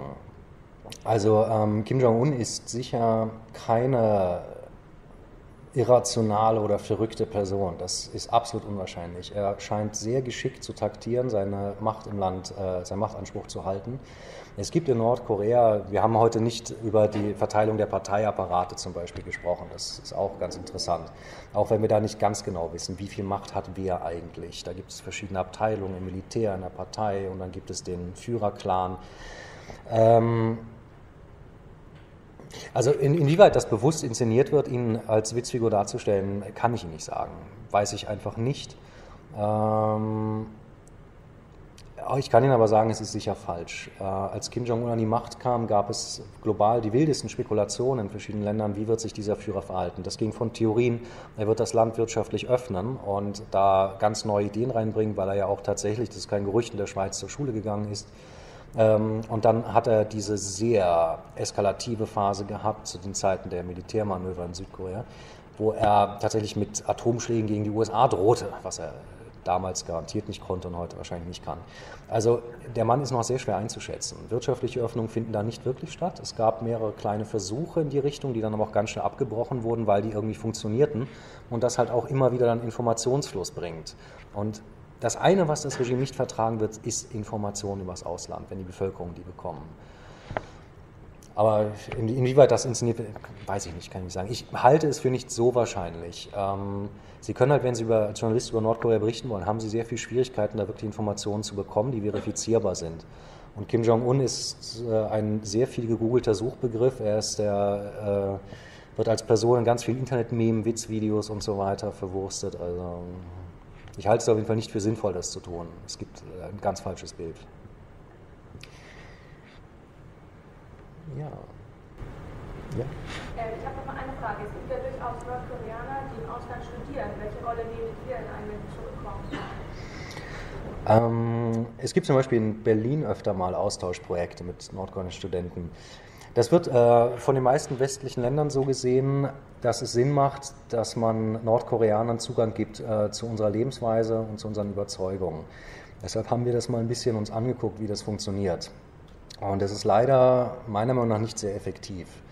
Die Nordkoreaner kommen nicht einzeln her. Sie dürfen ausgewählte Fächer studieren, die unbedenklich sind. Also sie dürfen hier keine Atomphysik als Nordkoreaner studieren, das ist klar. Äh, sie dürfen landwirtschaftliche, forstwirtschaftliche, architektonische Studiengänge belegen. Ähm, allerdings kommen sie in mindestens Zweiergruppen. Und da haben sie jetzt wieder diese Paranoia, ist der andere ein Spitzel. Und wir haben das beobachtet, dass viele der Studenten, also die, die wir beobachtet haben, sagen wir es mal so rum, an keinerlei Aktivitäten außerhalb der reinen Unterrichtseinheiten teilgenommen haben. Und damit muss man sich fragen, wie weit das sinnvoll ist. Auf der anderen Seite haben sie in anderen Regimen oft erlebt, dass die Leute so getan haben, als hätten sie sich kein Stück irgendwie gedanklich verändert, aber als eine Chance da war, plötzlich wirklich was zu verändern, da waren die dann plötzlich da. Also wie weit das was bringt, schwer zu sagen, möchte ich nicht entscheiden müssen, sagen wir so. Aber sollte jetzt zum Beispiel so ein Student hier fliehen und nicht zurück nach Nordkorea wollen, wäre das für seine Familie eine Katastrophe. Dahin? Ich würde gerne mal auf diese Lager nochmal genauer zu sprechen mhm. kommen. Du hast ja ein bisschen was dazu gesagt, zum Beispiel, dass untereinander die Chance besteht, frei zu kommen äh, dass man eine Arbeit verrichten muss und dass vor allem Oppositionelle da drin sind, aber das gleichzeitig verknüpft mit so einer Analogie zum Nationalsozialismus. Ja. Und da würde ich dir widersprechen wollen und sagen, naja, irgendwie die Vernichtung der Juden, die war ja nun mal systematisch und irgendwie aus keinen rational nachzuvollziehenden Gründen, sondern welche, die man halt nur in der Ideologie suchen muss. Mhm. Aber im Fall von Nordkorea habe ich jetzt eher den Eindruck, dass man ja schon sagen muss, naja, natürlich sind politisch Oppositionelle tatsächlich irgendwie ein Problem für dieses Regime. Also da ist so eine gewisse Rationalität durchaus da. Und da würde mich vielleicht, du hast ja die Rassenpolitik schon so ein bisschen angesprochen, ähm, gibt es denn da Bestrebungen, vielleicht tatsächlich in Analogie äh, systematischen äh, Massenmord äh, herbeizuführen an bestimmten Personengruppen? Hm. Äh, fürs Protokoll, ich habe gesagt, die UN hat gesagt, das ist politischer Genozid, der in etwa dieselben Ausmaße oder ähnlich schockierende Ausmaße hat wie äh, der Völkermord in Deutschland an äh, verschiedenen Minderheiten und am äh, Holocaust. Ähm, eine Sache habe ich vielleicht nicht äh, richtig rübergebracht. Es gibt zwei Sorten Lager. Das eine sind die Umerziehungslager, wo sie eine Chance haben, rauszukommen. Da kommen sie aber nicht als politischer Feind rein. Und das andere sind diese fünf Lager. Es waren mal sechs. Eins ist geschlossen worden, Jodok hieß das. Da kommen sie rein, um dort umgebracht zu werden. In diesen Lagern haben wir diese vermuteten, und wahrscheinlich ist die Zahl relativ richtig, 120.000 Menschen drin. In diesen Lagern haben sie jetzt keine Gaskammern oder so. Es gibt da paar Gerüchte, es gäbe sowas, um irgendwelche Kampfstoffe zu testen, aber das ist nicht verifizierbar und das sollte man deshalb auch erstmal jetzt nicht kommunizieren. Was dort aber tatsächlich passiert, äh, so wie die Opfer, die das überlebt haben oder auch zum Teil Wärter, die äh, aus Nordkorea fliehen konnten, darstellen, ist es so, sie werden durch Arbeit vernichtet. Ihr Arbeitstag ist tatsächlich 14 bis 16 Stunden lang. Sie bekommen eine Ration, die aus ein bisschen Kohl, etwas Salz und etwas Mais besteht. Ähm, das reicht nicht zum langen Überleben. Und ähm, bei kleinsten Verstößen werden sie exekutiert. Die Leute, die da drin sind, überleben in etwa vier Jahre, schätzt man. Lassen Sie es zehn sein, aber das läuft seit 70 Jahren. Und jetzt, wenn man da mal zu Ende rechnet, kriegt man einen Schreck. Und es wird weiterlaufen. Die Zielgruppe, die in diesen Lagern landet, sind neben einzelnen Personen, die sich tatsächlich öffentlichkeitswirksam gegen das Regime mal gestellt haben, diese untere Kaste aus diesem Songbund, diesem Kastensystem, die 27 Prozent, jetzt feindlich eingestuft werden. Und jetzt müsste ich noch angucken, wie werden die ausgewählt, wie lande ich da drin? Das ist ähm, meine Abstammungslinie. Wenn meine Eltern in dieser Kaste waren, bin ich das auch. Und basierend tut diese Einstufung auf ihrem Verhalten zum Teil während der japanischen Besatzung. Wenn sie da Sympathisant waren oder irgendwie mit dem Regime gearbeitet haben, dann sind sie in dieser feindseligen Kaste. Und das, darüber können Sie durchaus sagen, hier wird eine Volksgruppe, die, und zwar diese 27 Prozent Feindselige, systematisch ermordet. Äh, Sie haben auch in dem Bereich äh, jetzt nicht nur bei äh, zum Beispiel Flüchtlingen, die mit, potenziell mit einem chinesischen Kind schwanger sind, halb chinesischem Kind. Ähm, Sie haben auch Zwangssterilisation und Abtreibung. Da gibt es ganz viele Gerüchte. Wir haben äh, Gerüchte darüber und Berichte. Wir haben aber keine Zahlen, weshalb wir das auch noch nicht so mitkommunizieren. Aber in dem Rahmen hat die Untersuchungskommission das als äh, politischen Genozid bezeichnet und ich halte das auch nicht für zu weit vorgegriffen persönlich. Ja. Nur vielleicht ganz kurz zu klarstellen, also mir ging es jetzt auch nicht darum, das irgendwie zu relativieren oder so, nein, nein. sondern ganz im Gegenteil darum, irgendwie den Gegenstand der Kritik irgendwie konkret zu kriegen. Und ich habe das Gefühl, dass oft, wenn so NS Analogien hergestellt werden. Sorry, dass ich sie dir zugeschrieben habe und nicht der Wayne. dass das Völlig ein okay. bisschen von dem Gegenstand äh, ein Stück weit weggeht, um es irgendwie zu dramatisieren. Dabei irgendwie ist das ja. überhaupt nicht nötig. So, das waren so die Überlegungen meiner. Mhm. Äh, das ist, ähm, also die Überlegung, die Sie da haben, ähm, die haben wir intern im Moment sehr stark. Äh, ich habe Ihnen jetzt in anderthalb Stunden so einen groben Überblick über die Lage dort geben können. Ich habe ein bisschen was über die Ideologie erzählt. Wir haben das sehr viel intensiver studiert. Ähm, ein Beispiel, warum wir äh, zum Beispiel in einem Punkt ziehen wir partielle Vergleiche äh, zur Ideologie im Dritten Reich. Es ist so, ich hatte erwähnt, dass Kim Il-sung eine Ideologie quasi am Reißbrett entworfen hat. Und Sie finden da sehr viel Copy-Paste drin. Äh, da ist sehr viel aus Maoismus drin, da ist Stalinismus drin, da ist auch einiges aus äh, Nazi-Deutschland drin. Ähm, und es gab da auch mal eine Aktion, wo Funktionären mein Kampf auf Koreanisch geschenkt wurde. Das ist dokumentiert zum Beispiel. Also man hat überall geklaut und man merkte, das sind Mechanismen, mit denen kann ich Bevölkerung kontrollieren und auch für meine Ziele einsetzen. Das heißt, die finden in dieser Ideologie Teile, die tatsächlich auch äh, hier geklaut haben. Die Frage, ob Sie jetzt ähm, den Holocaust mit Nordkorea gleichsetzen, die möchte ich Ihnen nicht beantworten müssen. Ich habe äh, mehrere, drei Leute kennengelernt, die in so einem Lager waren. Äh, ich bin durch Menschenrechtsarbeit relativ abgebrüht, aber ich muss Ihnen sagen, das hat mich eine Woche gekostet, mich davon zu erholen. Äh, und das sind sehr, sehr viele Menschen, die das durchmachen. Es ist ein systematischer Mord an einer definierten Gruppe, das kann man so sagen, auf jeden Fall. Und ich sage Ihnen, ich sage mal was ganz anderes dazu. Äh, wir stehen im Kontakt zu verschiedenen politischen Einrichtungen und Institutionen. Wir haben auch mit dem Menschenrechtsausschuss schon äh, darüber gesprochen, zum Beispiel mit einzelnen Abgeordneten und dergleichen. Und selbstverständlich kommt da die Debatte öfter mal in diesen Themenbereich rein. Und was äh, wir da an Kommunikation betreiben, funktioniert im Prinzip so. Wir sagen, dass gerade Deutschland durch seine Geschichte immer wieder betont, eine besondere Verantwortung zu haben, dass so etwas oder etwas Ähnliches nie wieder passiert. Und darum sollten wir uns äh, für Nordkorea versuchen einzusetzen. Also wir formulieren das so rum und ich glaube, das ist okay. Die Schwierigkeit ist natürlich, wie die UN das formuliert hat, könnte ich mir vorstellen, dass das einigen Opfergruppen, äh, die im Dritten Reich verfolgt wurden, relativierend vorkommen muss. Das äh, ist klar. Ja, ja.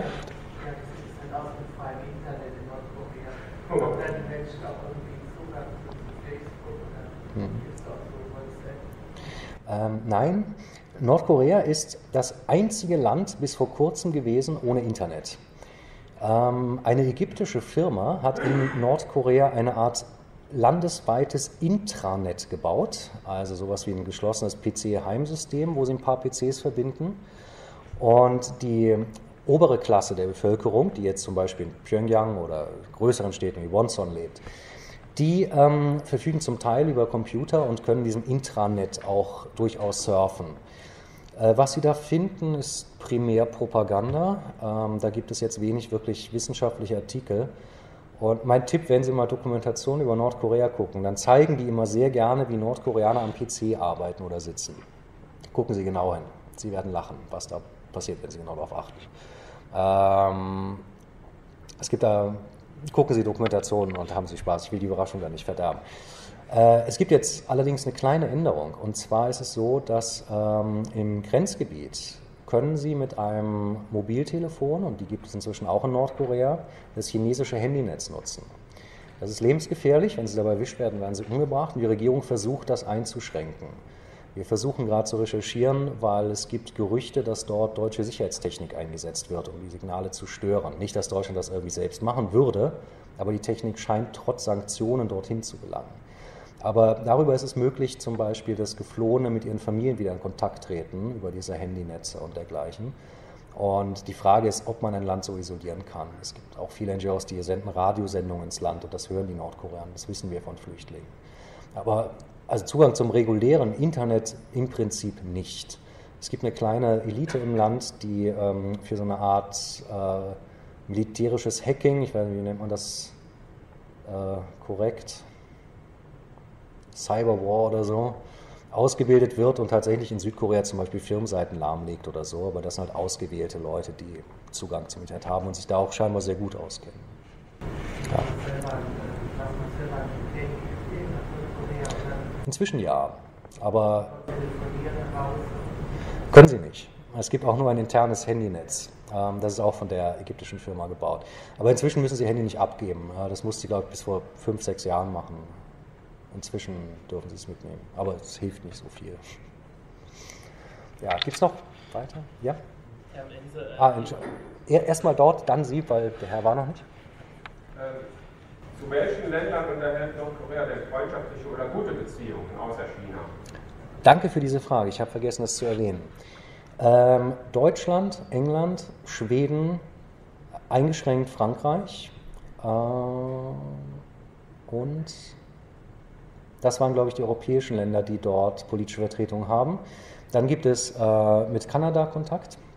Es ist so das besondere Interesse sowohl Nord- als auch Südkoreas an Deutschland. Und es ist tatsächlich sehr groß, liegt daran, dass Deutschland einige historische Parallelen mehr oder weniger aufweist. Dass wir auch mal geteilt waren und eine Wiedervereinigung hinbekommen haben, wird dort sehr begeistert wahrgenommen und man setzt große Hoffnung da rein. Wenn Sie sich allerdings ökonomisch damit auseinandersetzen, werden Sie feststellen, dass das leider kaum vergleichbar ist.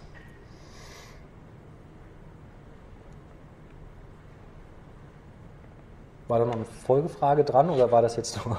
Das sind aber jetzt, ich meine, außereuropäische Länder, nicht westliche Länder. Es gibt ähm, verschiedene Kooperationen, die jetzt allerdings gerade stark zurückgehen mit afrikanischen Staaten. Ähm, da kann ich Ihnen aber nicht im Detail sagen, was da wo passiert. Es gibt zum Beispiel einige Projekte oder gab es mit militärischer Ausbildung, dass nordkoreanische äh, Offiziere in Afrika verschiedene Armeen mittrainiert haben. Das scheint sich jetzt gerade alles zu beenden und hier wirklich verifizierte Daten rauszukriegen, ist sehr, sehr schwer. Deshalb kann ich Ihnen das nicht im Detail sagen. Ähm, in Asien ist das nochmal ganz schwierig. Da gibt es verschiedene Foren wie das ASEAN-Forum, die versuchen auch eine Art Annäherung mit Nordkorea hinzukriegen. Aber die äh, verschiedenen Kontakte, die ändern sich leider auch sehr häufig. Also kann ich Ihnen das jetzt nicht einzeln aufzählen, leider. Aber ich kann das, wenn es großes Interesse dann gibt, nochmal nachreichen gerne. Ja, jetzt bitte. Ähm, äh, dieser äh, Chemismus ist ja quasi eine Art des Führerkults, hm. die sehr stark auf die Person, also des jeweiligen Kims zugeschnitten ist. Gab es oder, oder, weiß man, ob es, ob es äh, Attentatsversuche gab auf den Führer und, und wie würden Sie einschätzen, wenn so ein Attentat gelingen würde, würde man sehr schnell wieder einen neuen Führer aufbauen, weil ich stelle mir das schwierig vor, wenn alles wirklich auf die Person des, des äh, mhm. zum Beispiel zugeschnitten ist. Ja, also es gibt, ähm, was Attentate angibt, äh, Gerüchte. Es gibt auch ähm, Personen, die aus Nordkorea geflohen sind und sich wohl an solchen Versuchen beteiligt haben. Inwieweit das im Detail stimmt, kann ich Ihnen persönlich nicht sagen. Dafür möchte ich mir ins Feuer legen, aber sowas scheint es schon vielleicht gegeben zu haben. Ähm, was den Personenkult angeht, ja, das ist völlig richtig, wie Sie das darstellen.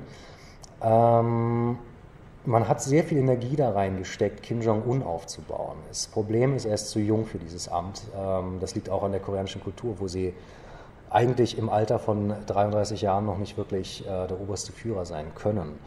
Und jetzt war ja vor knapp zwei Monaten dieser erste neue Parteikongress seit äh, 35 Jahren. Und das Ergebnis war, dass er ein paar neue Titel bekommen hat. Da sehen Sie, dass man sehr viel wieder einsteckt, ihn aufzubauen, damit er erkannt wird. Und auch das Video, was er am Anfang zeigte, das war relativ schnell, nachdem er an die Macht kam, im Umlauf. Es gibt noch viel mehr davon.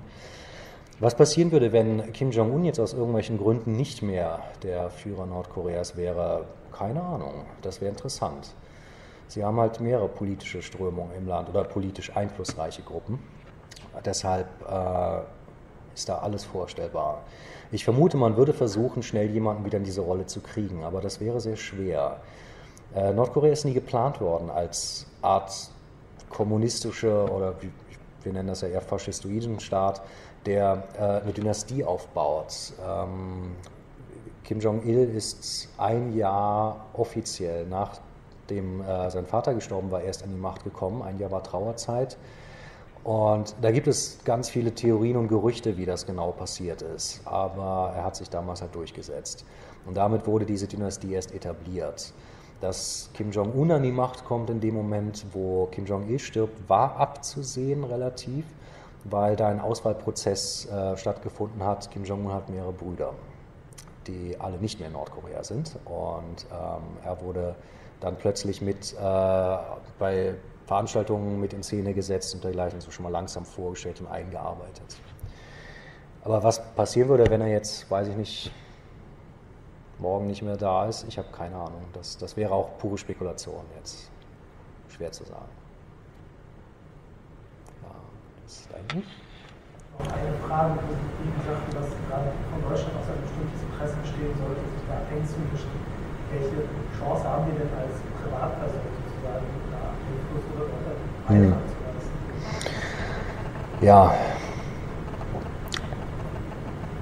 Ich weiß es nicht. Ähm, ich arbeite jetzt seit offiziell zweieinhalb Jahren an dem Thema und habe seit fünf Jahren arbeite ich tatsächlich daran zusammen mit ähm, insgesamt acht, neun Ehrenamtlichen. Da gibt es gewisse Fluktuationen, weil das Thema ja auch sehr anstrengend ist. Also wenn Sie sich regelmäßig mit Nordkoreanern beschäftigen müssen und auch in direkten Kontakt zu welchen kommen, die Sie nicht kennen oder so, dann kann das sehr psychisch anstrengend sein.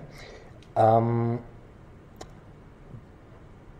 also ich sage mal ganz offen, wie wir, warum wir das so machen, wie wir das machen. Äh, wir konzentrieren uns auf zwei Bereiche. A, wir versuchen so viele Leute wie möglich erstmal überhaupt über das Thema zu informieren. Das machen wir durch Vorträge wie heute, weshalb ich mich auch sehr freue, hier eingeladen worden zu sein. Das Zweite, wir versuchen so viele große Menschenrechtsorganisationen und politische Einrichtungen wie möglich mit dem Thema anzusprechen. Die Schwierigkeit, die jede Organisation hat, die da was machen will und ein Konzept entwickelt, und da mag es viele geben, die das besser können als wir, alleine weil sie über größere, äh, äh, äh, Entschuldigung, äh, über andere Mittel verfügen als wir. Ähm, die große Schwierigkeit, die man hat, ist den Zugang zu finden. Und wir haben gleich zu Beginn unserer Tätigkeit sofort angefangen, uns mit ganz vielen NGOs zu vernetzen, die auch schon daran arbeiten. Hauptsächlich eben nicht in Europa, weil da gibt es wenig. Und haben darüber Kontakt zu Nordkoreanern bekommen, haben darüber Informationen bekommen, haben dadurch äh, Diskussionsmöglichkeiten und Foren bekommen, die uns geholfen haben, ein einigermaßen klares Bild zu entwickeln. Wir haben auch schon mit den Mitgliedern dieser UN-Untersuchungskommission darüber sprechen können und vieles andere gemacht. Ähm, wir wissen nicht, wie man das Problem lösen kann. Ähm, wir haben keine Idee, aber ich bin sicher, wenn sich da an, Menschen anfangen, darum zu kümmern, mehr als die vielleicht 50, die das im Moment in Europa tun, dann wird es auch wahrscheinlich bessere Lösungen geben. Aber wir sind einfach noch nicht so weit. Was wir machen, ist, wir bieten jeder zum Beispiel Stiftung an, die im Menschenrechtsbereich tätig ist, dass wir denen gerne zuarbeiten können, dass wir denen gerne unser Know-how über jetzt zum Beispiel äh, NGOs in Südkorea zur Verfügung stellen. Da gibt es auch solche und solche. Oder dass wir denen gerne sagen können, welche nordkoreanischen Flüchtlinge gute Redner bei Veranstaltungen wären, welche davon glaubwürdig sind und wo vielleicht gewisse Schwierigkeiten bestehen, ohne die jetzt irgendwie angreifen zu wollen. Ich habe großes Verständnis, wenn äh, ein Opfer von solcher Gewalt hinterher irgendwie eine andere Wahrnehmung hat.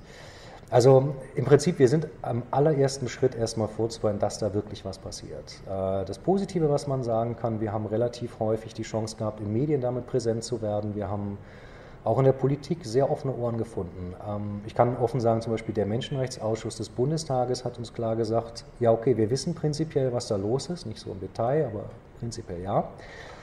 Aber wir wissen nicht, was wir tun sollen. Und wir haben Angst, Schaden anzurichten, wenn wir irgendwie interagieren und das falsch machen. Und jetzt können Sie sich überlegen, ob man als kleine NGO mit zehn Leuten diese Verantwortung tragen will, zu sagen, wir wissen, was man da machen kann, das wissen wir noch nicht. Aber es sind positive erste Schritte da in die Richtung passiert und es scheinen sich mehr und mehr Organisationen darum zu kümmern. Inzwischen fragen auch manchmal andere Stiftungen bei uns nach, äh, ob wir denen irgendwo helfen können, weil sie anfangen wollen, sich darum zu kümmern.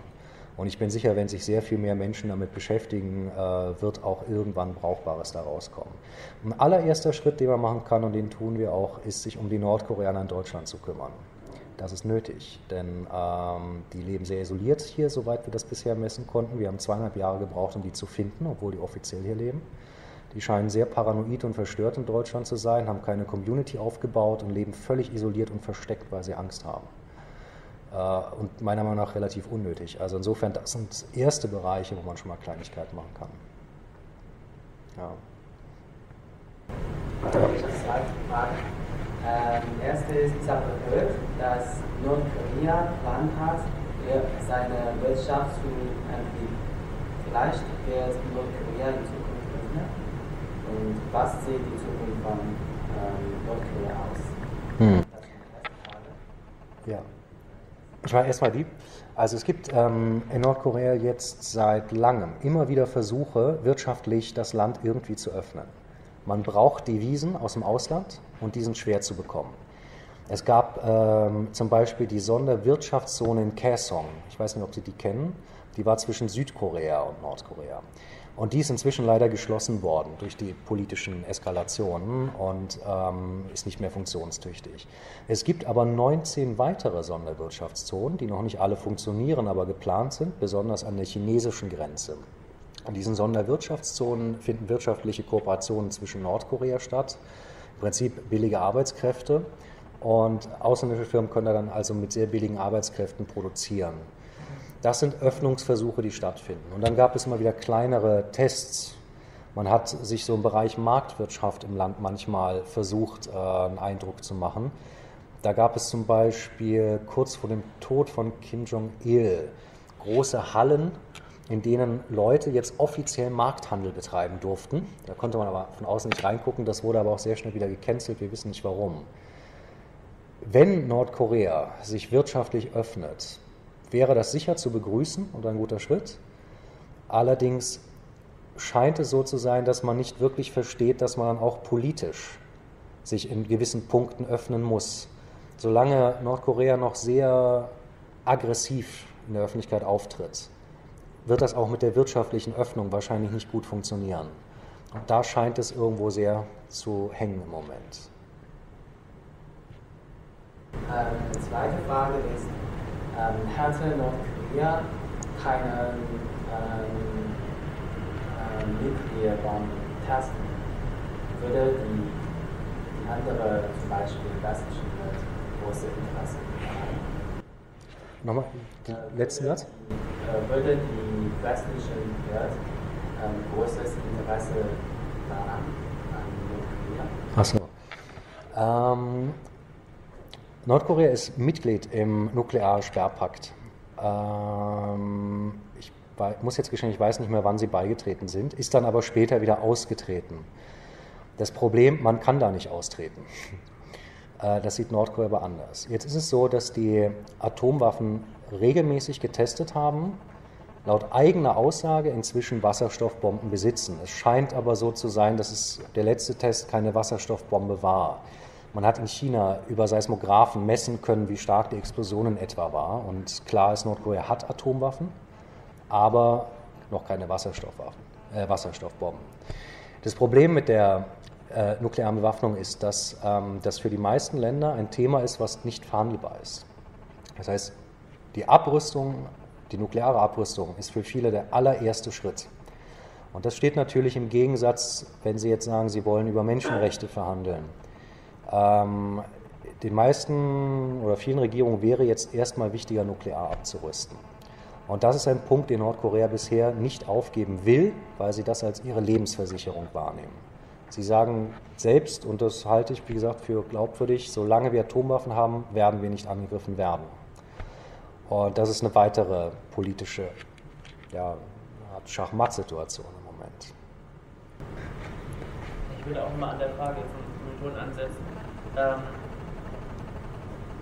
also, also ich, ich habe das jetzt so eher so verstanden, dass die Frage, vielleicht habe ich es auch verstanden, dass es so gemeint war, dass ähm, quasi durch dieses äh, Bedrohungspotenzial, durch die Nuklearwaffen, mhm. daran überhaupt ein Interesse besteht, in, in, Nordkorea zu intervenieren.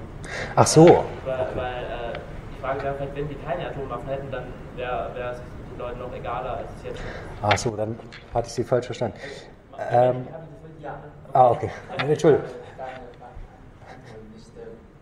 Okay, dann, ja, ich hatte Ihre Frage auch leicht anders verstanden. Dann, äh, ja, stell nochmal. Weiß ich persönlich nicht. Ähm, klar ist, eine militärische Intervention in einem Land, das Atomwaffen hat, ist unfassbar brisant. Aber das ist noch gar nicht das ein oder es ist nicht das einzige Problem. Nordkorea hat beispielsweise riesige Geschützbatterien auf Seoul gerichtet, was sehr dicht an der Grenze liegt. Das heißt, selbst wenn es keine, wenn es eine Eskalation oder eine Art Krieg geben sollte, und selbst wenn Nordkorea keine Atomwaffen zündet, können sie Seoul mit regulären Geschützen schwerst beschädigen. Da leben 25 Millionen Menschen, das wäre fatal. Also wir haben eine absolute Pattsituation. Dann ist die Frage, wenn so ein Konflikt, wenn irgendjemand sagt, wir intervenieren in Nordkorea, wie verhält sich, wie verhalten sich die anderen Nationen? Wie wird sich China verhalten? Werden die eingreifen? Das hat also in dem Moment, wo wirklich ein Krieg ausbricht, ich sage mal sogar ein kleines Weltkriegspotenzial wieder. Und das will ja niemand. Das will auch Nordkorea nicht. Das heißt, so wie es im Moment ist, wäre es für alle Beteiligten irgendwie recht bequem, wäre kein nukleares Bedrohungspotenzial in Nordkorea. Ja? Das heißt, ich kann mir persönlich nicht vorstellen, dass ein Land äh, im Moment in Nordkorea intervenieren wird. Persönliche Meinung. Ich bin aber auch kein Militärtheoretiker, das muss ich auch ehrlich sagen. Ja. Okay, gibt es noch eine Frage? Ich habe da eine Frage, ähm, die Nordkoreaner, die hier sind, wenn die rauskommen, die können ja eigentlich dann nur Koreanisch, oder? Oder können die auch irgendwie noch andere Sprachen, weil das ist ja dann sehr schwer, sich zu integrieren, wenn sie hm. keine Sprache haben. Das ist ähm, furchtbar schwer. Ich habe, da ich jetzt seit fünf Jahren im Thema arbeite, mal gedacht, ich versuche mal nebenbei anzufangen, Koreanisch zu lernen. Ich habe das inzwischen abgebrochen ähm, die Schrift kann man in drei Tagen lernen. Ähm, die Sprache und die Aussprache ist unfassbar schwer und andersrum ist das natürlich genauso. Äh, das ist unterschiedlich. Also ich habe Nordkoreaner in Deutschland getroffen, die relativ gut Deutsch sprechen, die sind aber auch schon länger hier. Ich habe Nordkoreaner getroffen, die nicht in Deutschland leben und gut Deutsch sprechen, weil es Kooperationen zwischen DDR und Nordkorea gab. Ähm, und ich habe Nordkoreaner getroffen, die kein Wort Deutsch sprechen und ähm, schon seit langem hier leben. Also das ist sehr unterschiedlich. Äh, prinzipiell viele Nordkoreaner, die geflohen sind, sprechen verschiedene Sprachen, zum Beispiel ein bisschen Chinesisch oder ein bisschen Russisch, denn die können ja nicht direkt herkommen. Wir hatten mal einen Fall, der war zwölf Jahre unterwegs, bis der in einem europäischen Land ankam und hat zwischendurch mehrere Jahre in China gelebt und gearbeitet, hat ein bisschen Chinesisch gelernt, hat ein bisschen in Russland gelebt und gearbeitet, ein bisschen Russisch gelernt, der war sprachlich sehr begabt, der konnte alles Mögliche. Also schwer zu sagen und ganz unterschiedlich in einzelnen Fällen.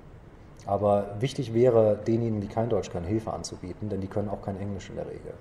Englisch wird jetzt in Nordkorea bei der Elite in den Schulen gelehrt. Ähm, so ein bisschen wird gedacht, man muss die Sprache des Feindes lernen.